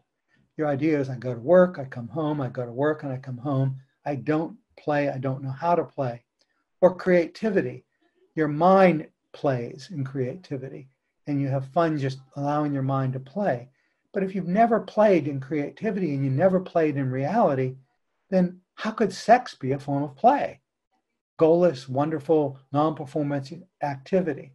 So you have to teach people how to play. Now, is it hard to teach people how to play? No. It's basically behavior therapy and beginning to give them specific assignments in and out of the bedroom and teach them how to laugh and be able to move their body. Now, what's the most wonderful activity for that? Dance. Dance is so great. You know if you can just let yourself go and just dance however you dance and listen to music well that's a great form of therapy. So dance movement therapy um, is really wonderful because if you can dance and let yourself go particularly in front of other people that teaches you how to be able to let go in certain ways and play as a form of letting go so you see all the structural things we're adding to this and now we're not just about trauma patients, but non trauma patients oftentimes have great difficulty with all of these things. And so we're applying standard sex therapy techniques to the trauma patient. Okay, now I want to remind you then that we're now moving into normative because 63% of women in the general population report arousal and orgasm problems, even though they're happily married and 85% of them reported they were satisfied with their sexual relationship. Now, what the hell? Think about that for a minute. They don't feel much, but they're happily married, and that they're satisfied even though they don't feel much. Why would that be? These data are reliable, they're repeatable, and they're the best I can come up with in the contemporary times. So let's say you believe what's on here, because I do. Then it means in some ways what the people will report is that um, my partner and I really love each other, and um, but sex is sort of boring. It's not that interesting, and I don't get that turned on, and I don't need much more than what I have. Well, is that much different really than marital relationships outside the bedroom? If you think about it, if you've been married with somebody for an extended period of time, it can get boring. If you don't do something to create stimulation. And so, in good marital therapy, what you're doing is reactivating the dating stages and reactivating every day you give a gift to your relationship you do something to put some something in. The more you put in, the more you get out. And so, did you call your partner? Did you write them a little memo? Did you write a note under their pillow? Did you tell them you love them? Did you do things to as an act of kindness? Um, are you able to um, be able to um, hold them, you know, during these periods of time of of um, this virus? Do you know how to nurture? I have to teach most men what nurturing is and teach them how to nurture their partner. And they're capable of it, but they've never been given permission or taught that they need to do it. Nurturing is an important part of a relationship. And so I'm working with people and teaching them how to be able to fine tune, to tune up their relationship. And a boring relationship makes boring sex and you may be content with it, but why be content with it? Why not put time and energy into creating passion? And so my theory is that what's missing in the American culture is passion.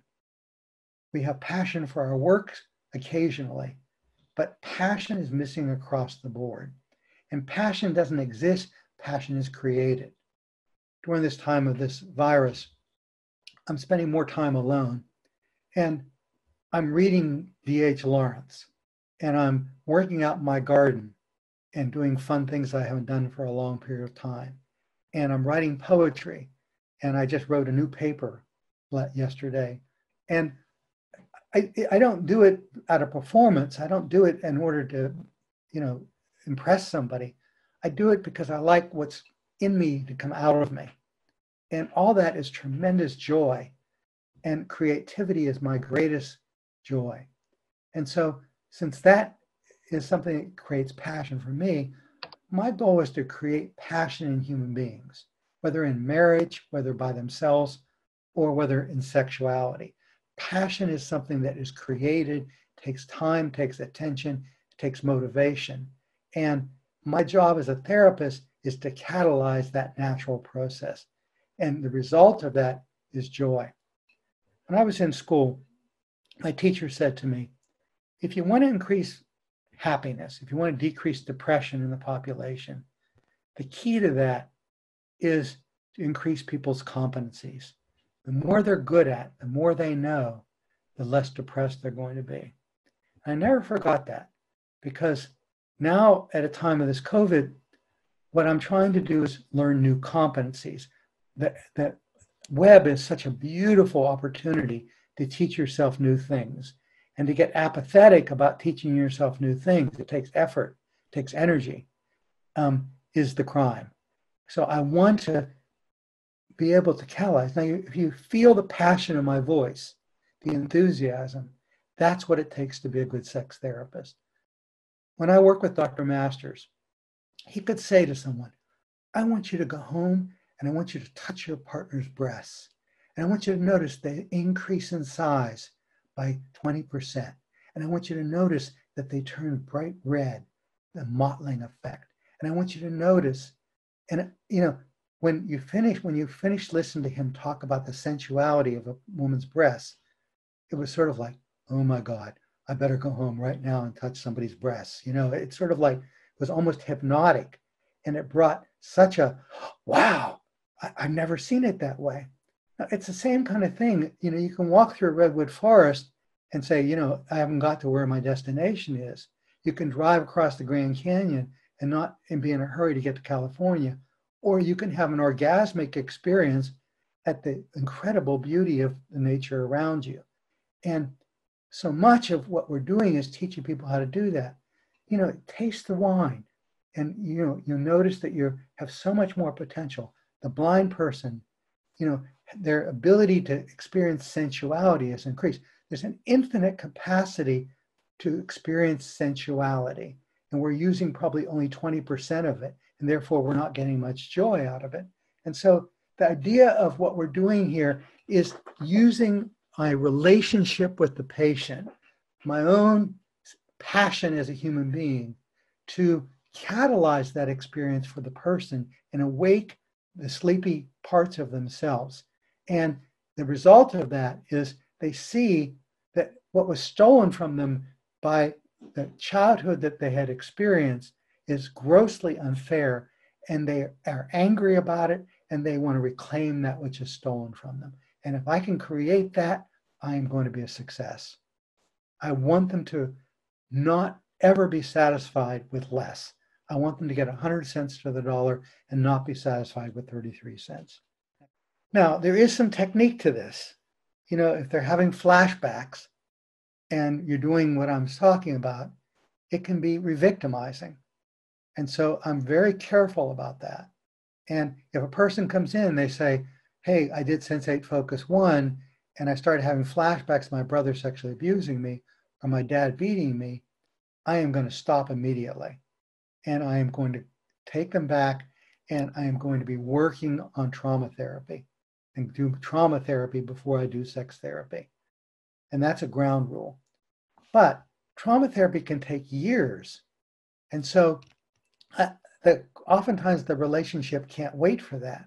So I want to be able to work on that flashback and so, for example, if the person says, I have to have the fantasy of my brother sexually abusing me in order to get turned on with my partner, I stop and I will begin to do trauma work on the flashbacks and do enough trauma work to be able to neutralize the flashbacks, teaching them how to do grounding and containment and how to be able to ground and contain themselves and to be able to move back from the flashback to being in the here and now.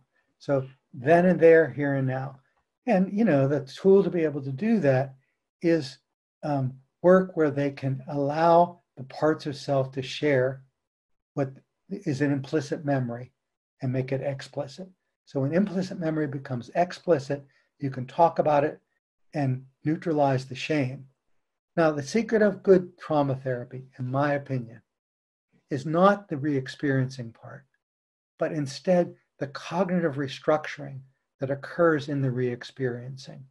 And so the goal of good trauma therapy is when you activate trauma memory to begin to look at the shame that is embedded in it and the self hatred that gets hardwired in, and to begin in that strong state dependent memory to say, back then you felt, but can you tell that child what they need to hear now? And tell her that she wasn't bad, that what was done to her was bad, that he is not bad, that what he did to himself as a result of what was done to him was not bad. And so, shame work uh, and neutralizing the stigma that's associated with the early trauma is the key. And the reason why it works is the person is a strong affective state. So EMDR, IFS, all those tools are, are accelerated techniques to neutralize the trauma memory and the flashbacks that then allow you to go back to the marital and sexual therapy. So I tend to do them simultaneously. Now, something simple like hand riding. What is hand riding? Handwriting means that what you do is when your partner's touching you, you put your hand on top of theirs. And the theory is you can't tickle yourself. So if the partner touches you and you feel ticklish, if you put your hand on top of theirs, it'll neutralize the tickly sensations. And so what we tend to do is in trauma work with Sensate Focus, we have the person just ride their other partner's hand and sometimes put their hand through and show, I like this, not like that. Why? Because what neutralizes anxiety is feeling in control. And when someone's touching you, it's too vulnerable. But when you put your hand on top of somebody, you feel like you're in control. And that's key. Now, that's a simple intervention, but if you know about it, it changes everything. Because for some people, they move from inhibited sexual arousal to what we call sexual aversion. Sexual aversion is where you're phobic of touch. I have people who, when their partner they love touches them, they throw up because they're so phobic. And the reason why they're phobic is because they force themselves to be sexual with their partners to please the partners. So what happened is, I have a client now says that I was sexually abused as a child, and then I went, had sex with a thousand people during my adolescence, and now I'm in a committed relationship, but I can't tell my partner that I had sex with a thousand people, and I feel disgusting because I did that. And during those years, I had sexuality without sensuality. But now, when I'm with my partner, I want to be able to feel and I don't know how. That is a common problem. And what occurs with that is not only a lack of arousal, but a phobic element. It's quite dramatic if someone throws up when they're with their partner. Now, guess what? Sexual aversion is probably one of the easiest problems to treat in the realm. It has the highest success rate at our work at Masters and Johnson because phobias are highly treatable. We all know from behavior therapy that phobias have a very high success rate using exposure based therapy. And so we simply go back to the model of systematic desensitization where a person's in control. So if a person has sexual aversion, what we say is to the partner, he or she is in control at all times. They're the boss. They say start, they say stop, and whatever they say goes. Okay, so they start by saying stop. Then what we do is we encourage the person to go one step beyond their comfort level. That's systematic desensitization. And then the second step beyond their comfort level. But they're 100% in control of how and how much. They're in control. Do you see how powerful that is? It's a way of, in the past, things were out of control. In the present, things are in control. In the past, someone was doing to you. In the present, you're doing for yourself. And so you can begin to structurally change the brain reaction to what is happening. The other thing that happens is the ego state intrusion. With ego state intrusion, parts of self jump in.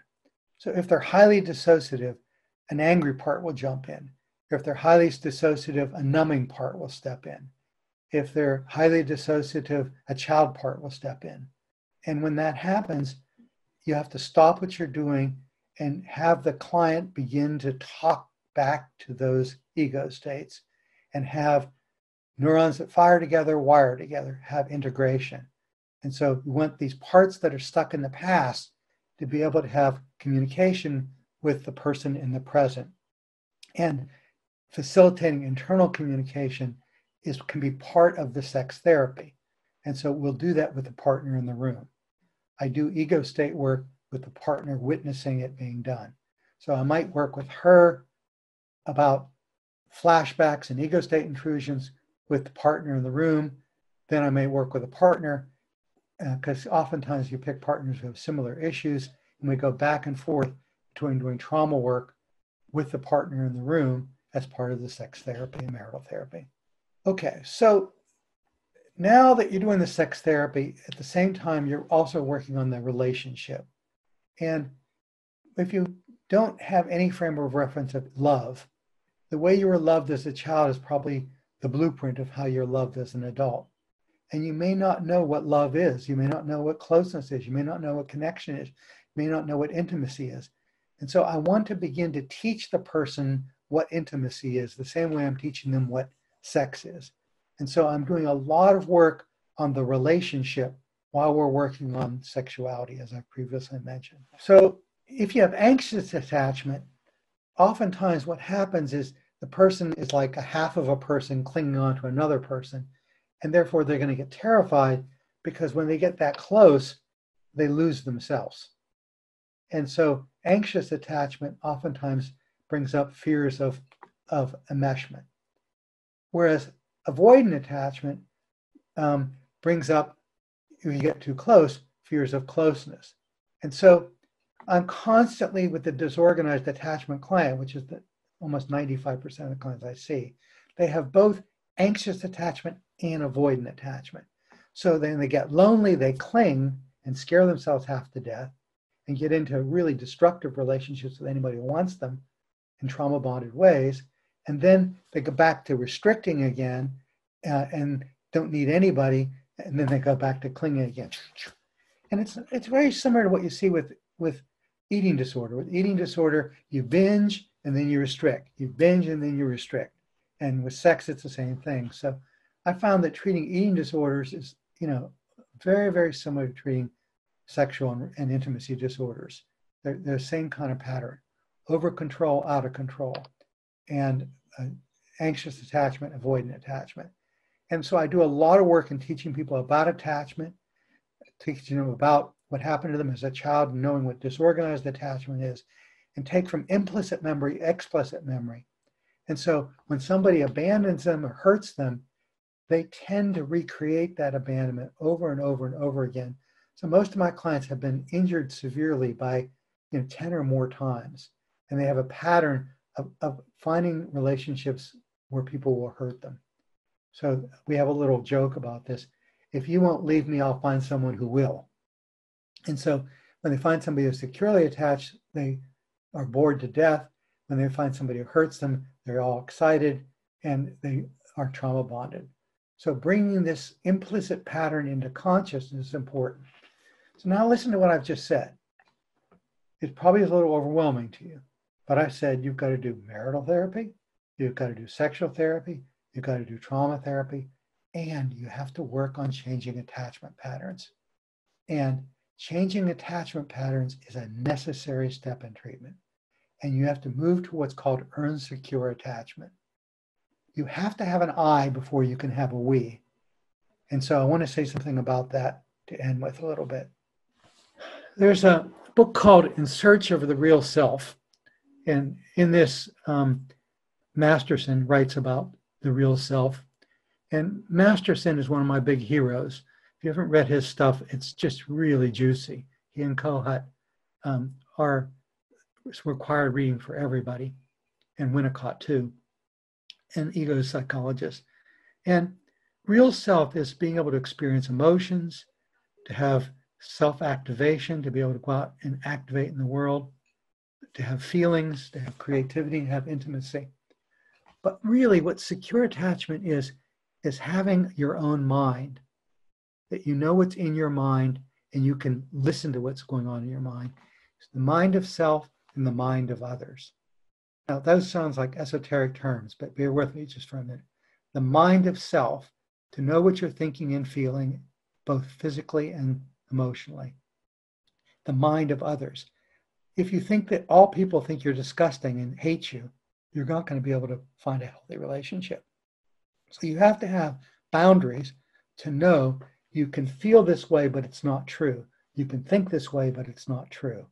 So you're constantly looking at the cognitions of avoidant and anxious attachment and understanding that that's about what was done to you and to begin to normalize those and know the mind of self and mind of others. And so, so much of my work nowadays, you know, if you think all the stuff I've talked about is hard, the hardest stuff is moving people towards earned secure attachment, mind of self and mind of others. And the work in that is called metacognition. If you look up metacognitional therapies, uh, Bateman, uh, Fonagy, people like that, um, Dan Brown, these metacognitive therapies are juicy and delicious because they're highly oriented to teaching your, ther- your clients mind of self and mind of others. A lot of it's basic cognitive therapy and cognitive restructuring, but it's not easy because these are trauma affect bonded. And so cognitive therapies don't work. So Jeffrey Young has something called schema therapy. And in schema therapy, what he says is what I learned from Beck in cognitive therapy does not work with trauma survivors, and all my clients are trauma survivors. And so I have to do schema therapy, not cognitive therapy. And schema therapy is cognitive affective work. you have to activate the affective pattern of what happened to them as a child and then challenge it through the adult's mind. And so the therapy I use most often is internal family systems. Because internal family systems, you're building up the self of the individual and having the self do therapy with these disowned parts. And we're catalyzing that process. So, what did that child need to hear back then? You're not disgusting. You're not bad. Can you connect with that child in there, bond with her as if she was your own brother or sister? And could you tell that person what they needed to hear back then? Can you take those feelings and hold that individual and help them feel safe? And so, what we're doing is called intrapsychic therapy. We're having self do therapy with parts that are injured and healing them in some way. So that's the key. And, you know, that's taken 40 years for me to learn. John Money was my teacher. One day I was walking down the aisle with him, and he said something to me at nine o'clock at night. He said, You know, Mark, he said, What I just told you in 30 seconds, it took me 30 years to figure out. And I just told that to you in 30 seconds. And I said, You know, that's the definition of a teacher. And I never forgot that. And so my idea is it took me 40 years to learn that the key to working with trauma is moving people towards earn secure attachment. And um, I really strongly recommend that you learn how to be able to do that because that is the key to all the things that I've been talking about. And of all the books that teach you how to do that, Dan Brown's book, uh, which I've referenced for you, um, is probably the juiciest with that. And the, the best person I know who teaches this is Janina Fisher. Janina Fisher is awesome because she has been trained in both somatic based therapies um, and in attachment based therapies. She was trained by Bessel and the best. And um, if you haven't had training with Janina Fisher, uh, it's priceless. I want to thank you all. I'm ready to take some questions if you have any. Um, their partners may not be skilled or knowledgeable about the body or religious stuff right. Um, so that's why I like doing couples therapy, is that as much as possible, when I'm seeing an individual, I'll bring the partner in the room right from the very beginning. And I like involving the partner because I want the partner to know that it's not about them, it's about what happened to this individual as a child. And that the feelings that they have and they're taking personally are really not about them at all. if I can go back up. All right, so it says that, um, thank you for the workshop. That's really sweet. Thank you. Um, complete your online webinar evaluation, please. And um, Right, there's one here. It says, I work with men on parole who've been molested, who molested small children. I have one client who willingly admits that he's attracted to young girls up to the age of 12. How do you change deviant behaviors when there is no partner? Yeah. First question is, can you? And the answer is yes. That um, it finally took 30 years for people to realize that pedophilia, the most correlational factor is sexual abuse as a child. And so oftentimes it is a form of trauma bonding. And so what one has to do is knock out the deviant arousal and build in non-deviant arousal and build in empathy for victims. And so the really good programs that exist are quite good at changing people arousal patterns. And there are a variety of arousal reconditioning techniques. The one that I use most frequently is called fantasy satiation. And fantasy satiation was invented by Gene Abel long, long ago. And what you do is you have the person do boredom tapes every morning at 7 a.m. and dictate their deviant arousal patterns. So imagine just for a minute if you th- if you that fantasy that's most arousing to you in masturbation, and you dictate it into a tape machine for 20 minutes every morning at seven o'clock, and then you had me come listen to it. How long do you think that fantasy would be arousing? it would every time you every time you'd have that fantasy, you think of me listening to your fantasy patterns, and it would quickly satiate out. So you can begin to satiate, satiate out deviant arousal patterns off facilitate. The trick of that is you can't fantasize something until you feel safe. until you resolve the trauma. So the first step is doing the trauma work. Second step is allowing intimacy and safety. How do you do that in a prison? You can't. And the reason is because prisons aren't safe. And I used to run a prison program, and I had my own unit, and, and all the people in the unit were, um, I created a therapeutic community which was safe. And that I did amazing work. But very, very few states will allow you to have that. And that's the only way I know to, to do that work.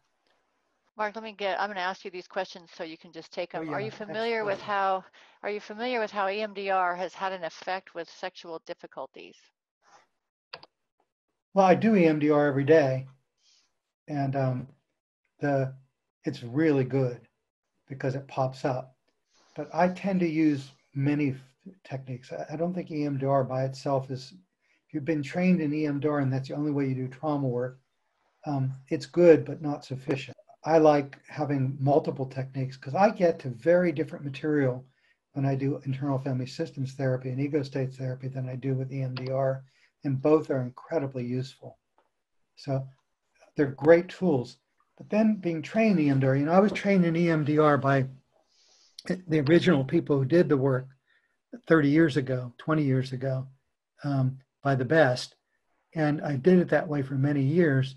And two years ago, I got retrained and went, went to a second week training with the contemporary EMDR training. And oh my God, it was it was really incredible. I learned so much more.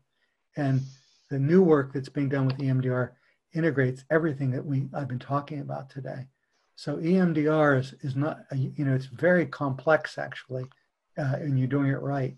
And if you've been well trained in it, which is that week long training, first, second, and third, if you get all three of those, uh, you can do amazing work. Mark, another question. Can you please give another example of how to break the trauma bond? I have a hard time understanding the example provided in the presentation. Right. So a trauma bond is where the past is the present. And so what happened in the present is that your past is activated. And so what happens is the repetition compulsion, where you keep, um, you know, like Groundhog Day, you keep repeating. So the person, you know, sits next to you on the plane and says, I just married my third alcoholic husband. My father was alcoholic. Why the hell do I keep doing this? Or a person who is physically abused in a marriage divorces and finds himself getting into a safe relationship and then within a year being physically abusive. How do you keep recreating these things? That's the trauma bond. And it's always about trauma. And it means implicit memory is being activated and being played out. So if you take Janina Fisher's idea that symptoms are always trauma memories, then the reenactment is a trauma memory being enacted. It's implicit memory. The way to do that is you bring implicit memory into explicit memory. So let's say a client comes into my office and they say, uh, What's your problem? And I say, Well, um, my problem is that I um, like hurting people. Well, that's where I'm going to start my therapy. Let's say they say I like to cut on my body. I, that's where I start my therapy. I activate trauma memory by activating the self cutting and I revivify that experience in my office of what it felt like to cut on the body. And then I scan back in time to what in the past might have allowed them to enjoy cutting on the body. And the person then, because they're highly dissociative, is able to link the past with the present. And implicit memory becomes explicit, and I can begin to spit in the soup, making cutting on the body undesirable and understanding I don't want to hurt myself anymore. I don't need to hurt myself. It doesn't happen overnight, but slowly, as the person feels compassion for self, then they'll begin to feel compassion for self and others, and they'll stop hurting themselves and stop hurting others. And that's what trauma therapy is. But it's always about trauma memory. Beautiful, Mark. And next question. Can you comment on BDSM, power sharing, where the trust and safety is explored both physically and psychologically? Yeah, it's a good question you know, I think um, that you could interpret what I've said so far that I'm judgmental against that, but I'm not. I do think that if two people are consensual that they can experiment and explore all kinds of things. And so, you know, sex can become boring. And so, you, you know, adding a little salt and pepper is really good. It's when it becomes required that it bothers me. If you're if you add a little salt and pepper to what you're doing, that's really delicious. But if you're doing it and it's necessary, so let's say you have to, let's take a fetish. Let's say a person has to be dressed up in women's clothes in order to make love with their wife. Well, it's like they're making love to the clothes and not to the wife. And they're use, they have avoidant attachment and they're using the clothes to distance themselves. Well, that is not good. So I want to de- treat the avoidant attachment, and therefore the, I want to treat the paraphilia. But if you're making love to your partner and dressing up in, in certain clothes enhances the experience with your partner, it makes it more intimate, I'm all for it. So anything that increases intimacy between people, I'm in favor of. Anything that fosters distance between people and avoidant attachment, I'm not. So it's not what turns you on, it's how you use what turns you on that's really critical. Next question. I have a client that says she's stuck in other areas of her life, like work and future success. She has a history of childhood sexual abuse. Would it be re traumatizing or helpful to focus on sexuality? She also has trouble with intimacy in her relationships. Yeah, of course. That's the kind of person I'm talking about today. They're, they're perfect for what we're talking about. Next question. What is the best approach for helping women who always feel pain during sexual intercourse despite no physiological known reasons? Good question. That's called dyspareunia. And dyspareunia has many etiologies. And so nowadays, um, we have some advanced techniques of dealing with dyspareunia.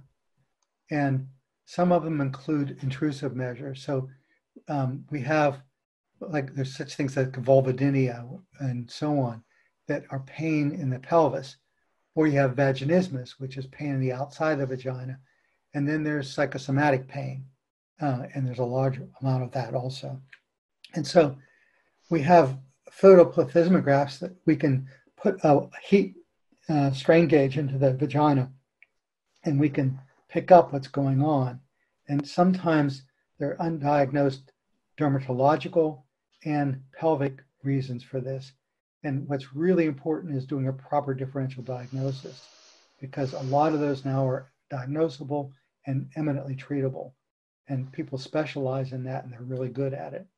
On the other hand, there's a high amount of psychosomatic disorder, meaning that psychologically you can create pain when it's not there, and that's called dyspareunia.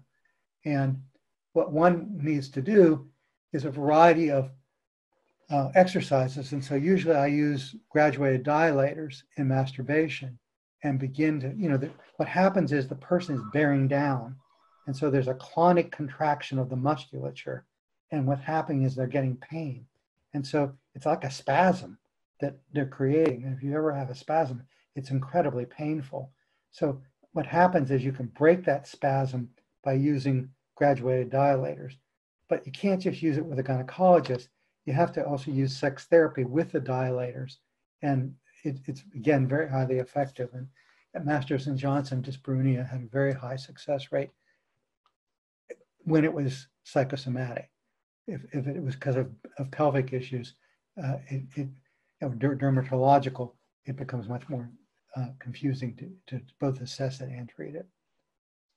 Mark, we've got a few more here. Really great questions. I've worked with clients who have childhood sexual trauma that do not want to share with their partner they have had this history. How have you seen this affect outcomes and how have you navigated this issue? Yeah, I'm not a big fan of sharing everything. Um, some therapists, you know, want you to tell, you know, all the details of your previous sex life and want you to, you know, honesty is the best policy. And I think addiction therapists are big on that, where you know that you have to open the channel, come clean, and tell everything. I'm not a favor of that. I, I, think that secrets are okay in relationship, and I think that one has to decide why you're keeping the secret, and the therapist has to be very careful because sometimes telling a secret can injure the relationship permanently. So, what's important to me is that you deal with the shame And if you can neutralize the shame, which is oftentimes the person judging themselves. And so if I can say, it's understandable what happened to you and what you did to yourself as a result of what happened to you, and to know that it's not going to ever happen again, and forgive yourself, then that's important. But if you're looking for to come and tell everybody and look for forgiveness from others, that's pretty dangerous. So it's not that I, I'm in favor of keeping secrets, but I'm also not in favor of telling everything. So there has to, the key is each individual is different and you have to assess the individual and the relationship and what it can tolerate. Mark, do you have any recommendations for working with teens who are not currently sexually active in order to help them process as much as possible so that they can move forward to having healthy sexual experiences when they feel ready to do so? Yeah, of course. When I was teaching at the university, I, I taught a course called Love Education. And uh, my first semester, 700 students signed up. And I was sort of overwhelmed. Um, and it became one of the most popular courses in the school, as you can guess. And what I did was I called it preparation for a relationship, what you need to know before you get into a relationship.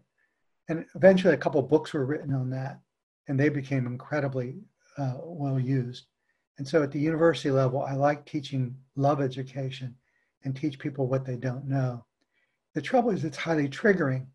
In this day and age, I don't know if I would go near it because you know you'll get sued or you'll get blamed or you'll get uh, horrible things will happen to you so um, in this day and age it's very very hard to talk about any of these topics i'm talking about without finding people being rageful at you and i've had my share of that so uh, I, I, I, you know I, I, tend to be very shy about these kind of things because it's the personal has become political and if you state something like what I've talked about today, um, you can be attacked viciously.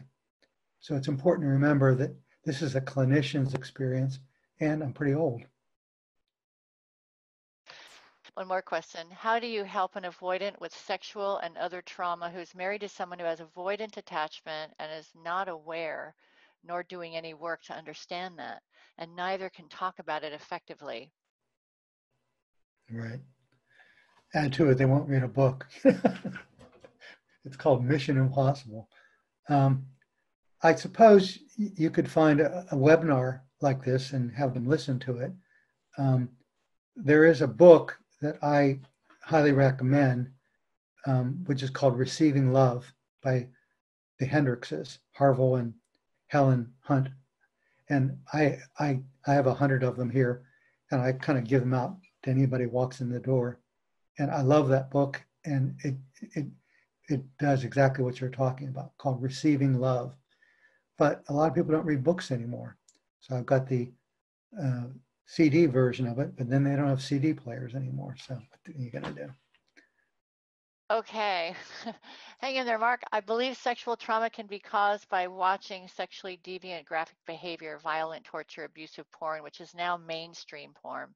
And there are people who've never been sexually abused themselves, but particular content is traumatic and can minimize or, uh, excuse me, can mimic abuse. Children forced to or who stumble upon graphic images end up with trauma that needs dealt with in a similar way. Many want to act it out like those who have been molested. Absolutely. I think in one of my previous webinars, I, I talked about sexual compulsion. And what I said in that webinar was that pornography uh, is starting a whole new set of problems. I'm seeing an epidemic of young people coming in who cannot be aroused sexually by their partners. And they cannot be aroused sexually by touch. And they started masturbating at age 10, 11, 12 to pornography.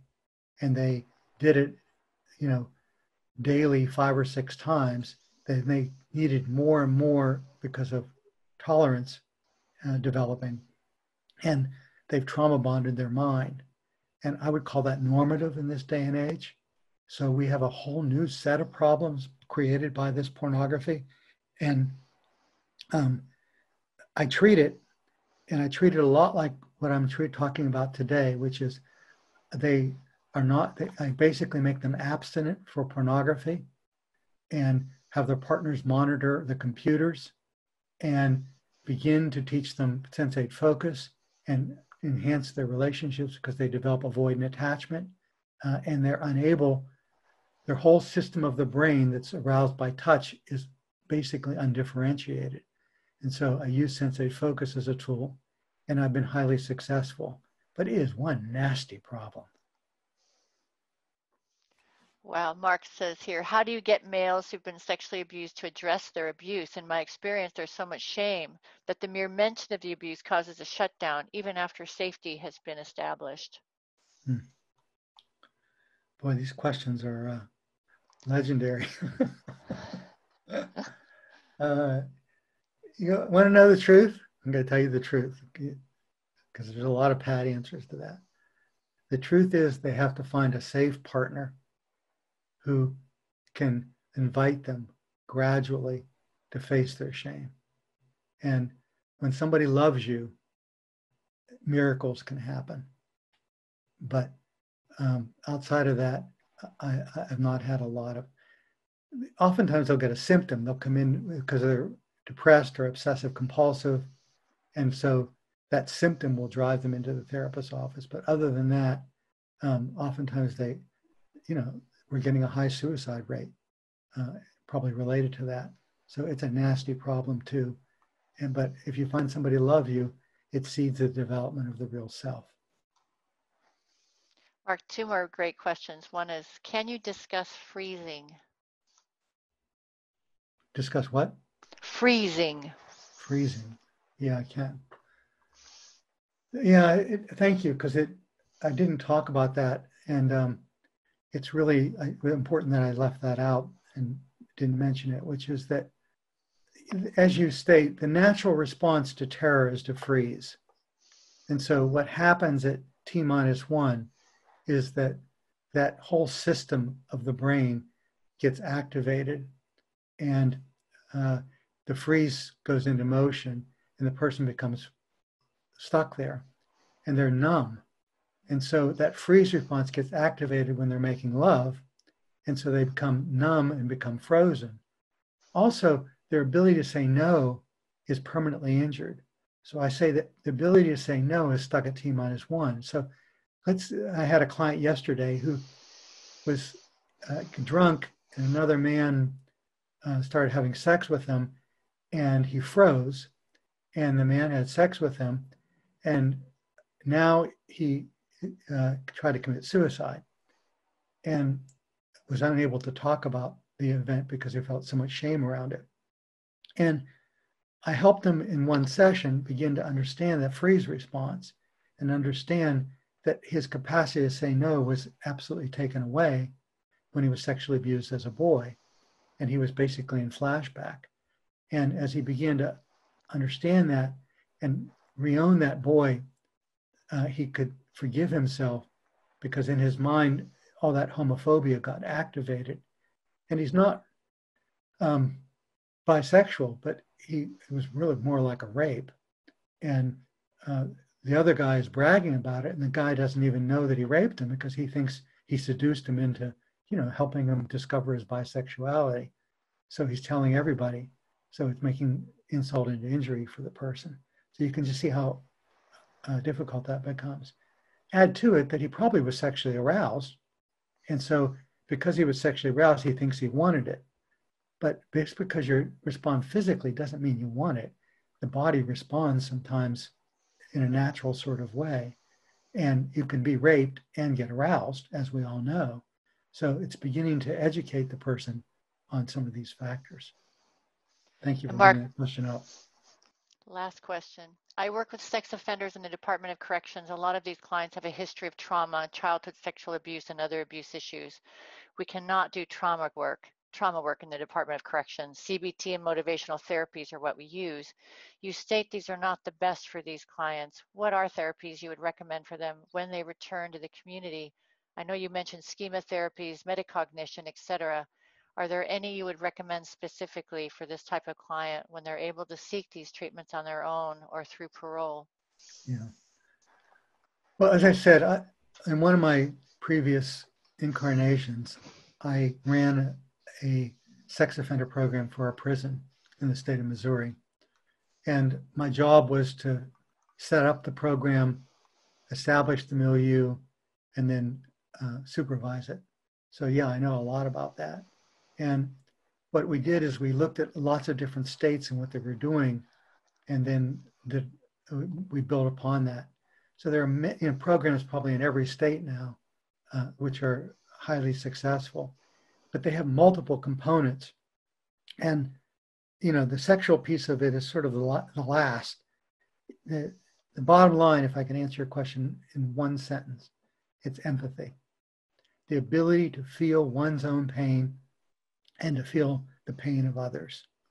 But prison is not the place to do it because if you feel empathy in prison, you will be re victimized. And so, what I did is I took people in their last year of their sentence and put them in a therapeutic community for the last year of their sentence. And if they participated 100%, they could stay in the program. If they didn't, they would get put back in the main cell. So I was trying to rehabilitate them, and the last year is the best time to rehabilitate them. When it's obliged that they have treatment by the state, it becomes hard to do that because you can't become empathetic and vulnerable in a situation when you're going to get the shit beat out of you. So it's a really difficult kind of thing. And if what you're going to say isn't uh, treated with confidentiality, but is going to be used to shame you, it's going to make you worse. Prisons are make people worse; they don't make them better. We all know that. And Mark, one final question: What is your success with treating a fetish, i.e., letting the fetish go? It depends on the person. You know, if, if they're highly motivated, it can be great. And if they have a loving partner, it can be great. Um, it's like eating disorder. Most of the patients who come in with an eating disorder are as motivated to keep it as they are to give it up. And so, what you have to do is be able to motivate the part of them that wants to give it up and help the part that keeps it understand that they're using the behavior as a form of avoidant attachment. And so, if they begin to have that education and understanding, you can get the part that wants to hold on to it to eventually feel safe. All these behaviors are a way of feeling safe with avoidant attachment, but ultimately they increase your loneliness, they don't decrease it. So, what one of my clients said, listen to what this therapist is telling you. When I first went in there, I thought he was full of shit, but I started doing what he said, and my life is a hundred times better. Intimacy is the answer. Letting someone love you and being loved by another human being is a thousand times better than any fetish or paraphilia. Great. Thank you all for coming. It was nice to have you, and I hope you'll stay in touch. Thank you all. Bye bye.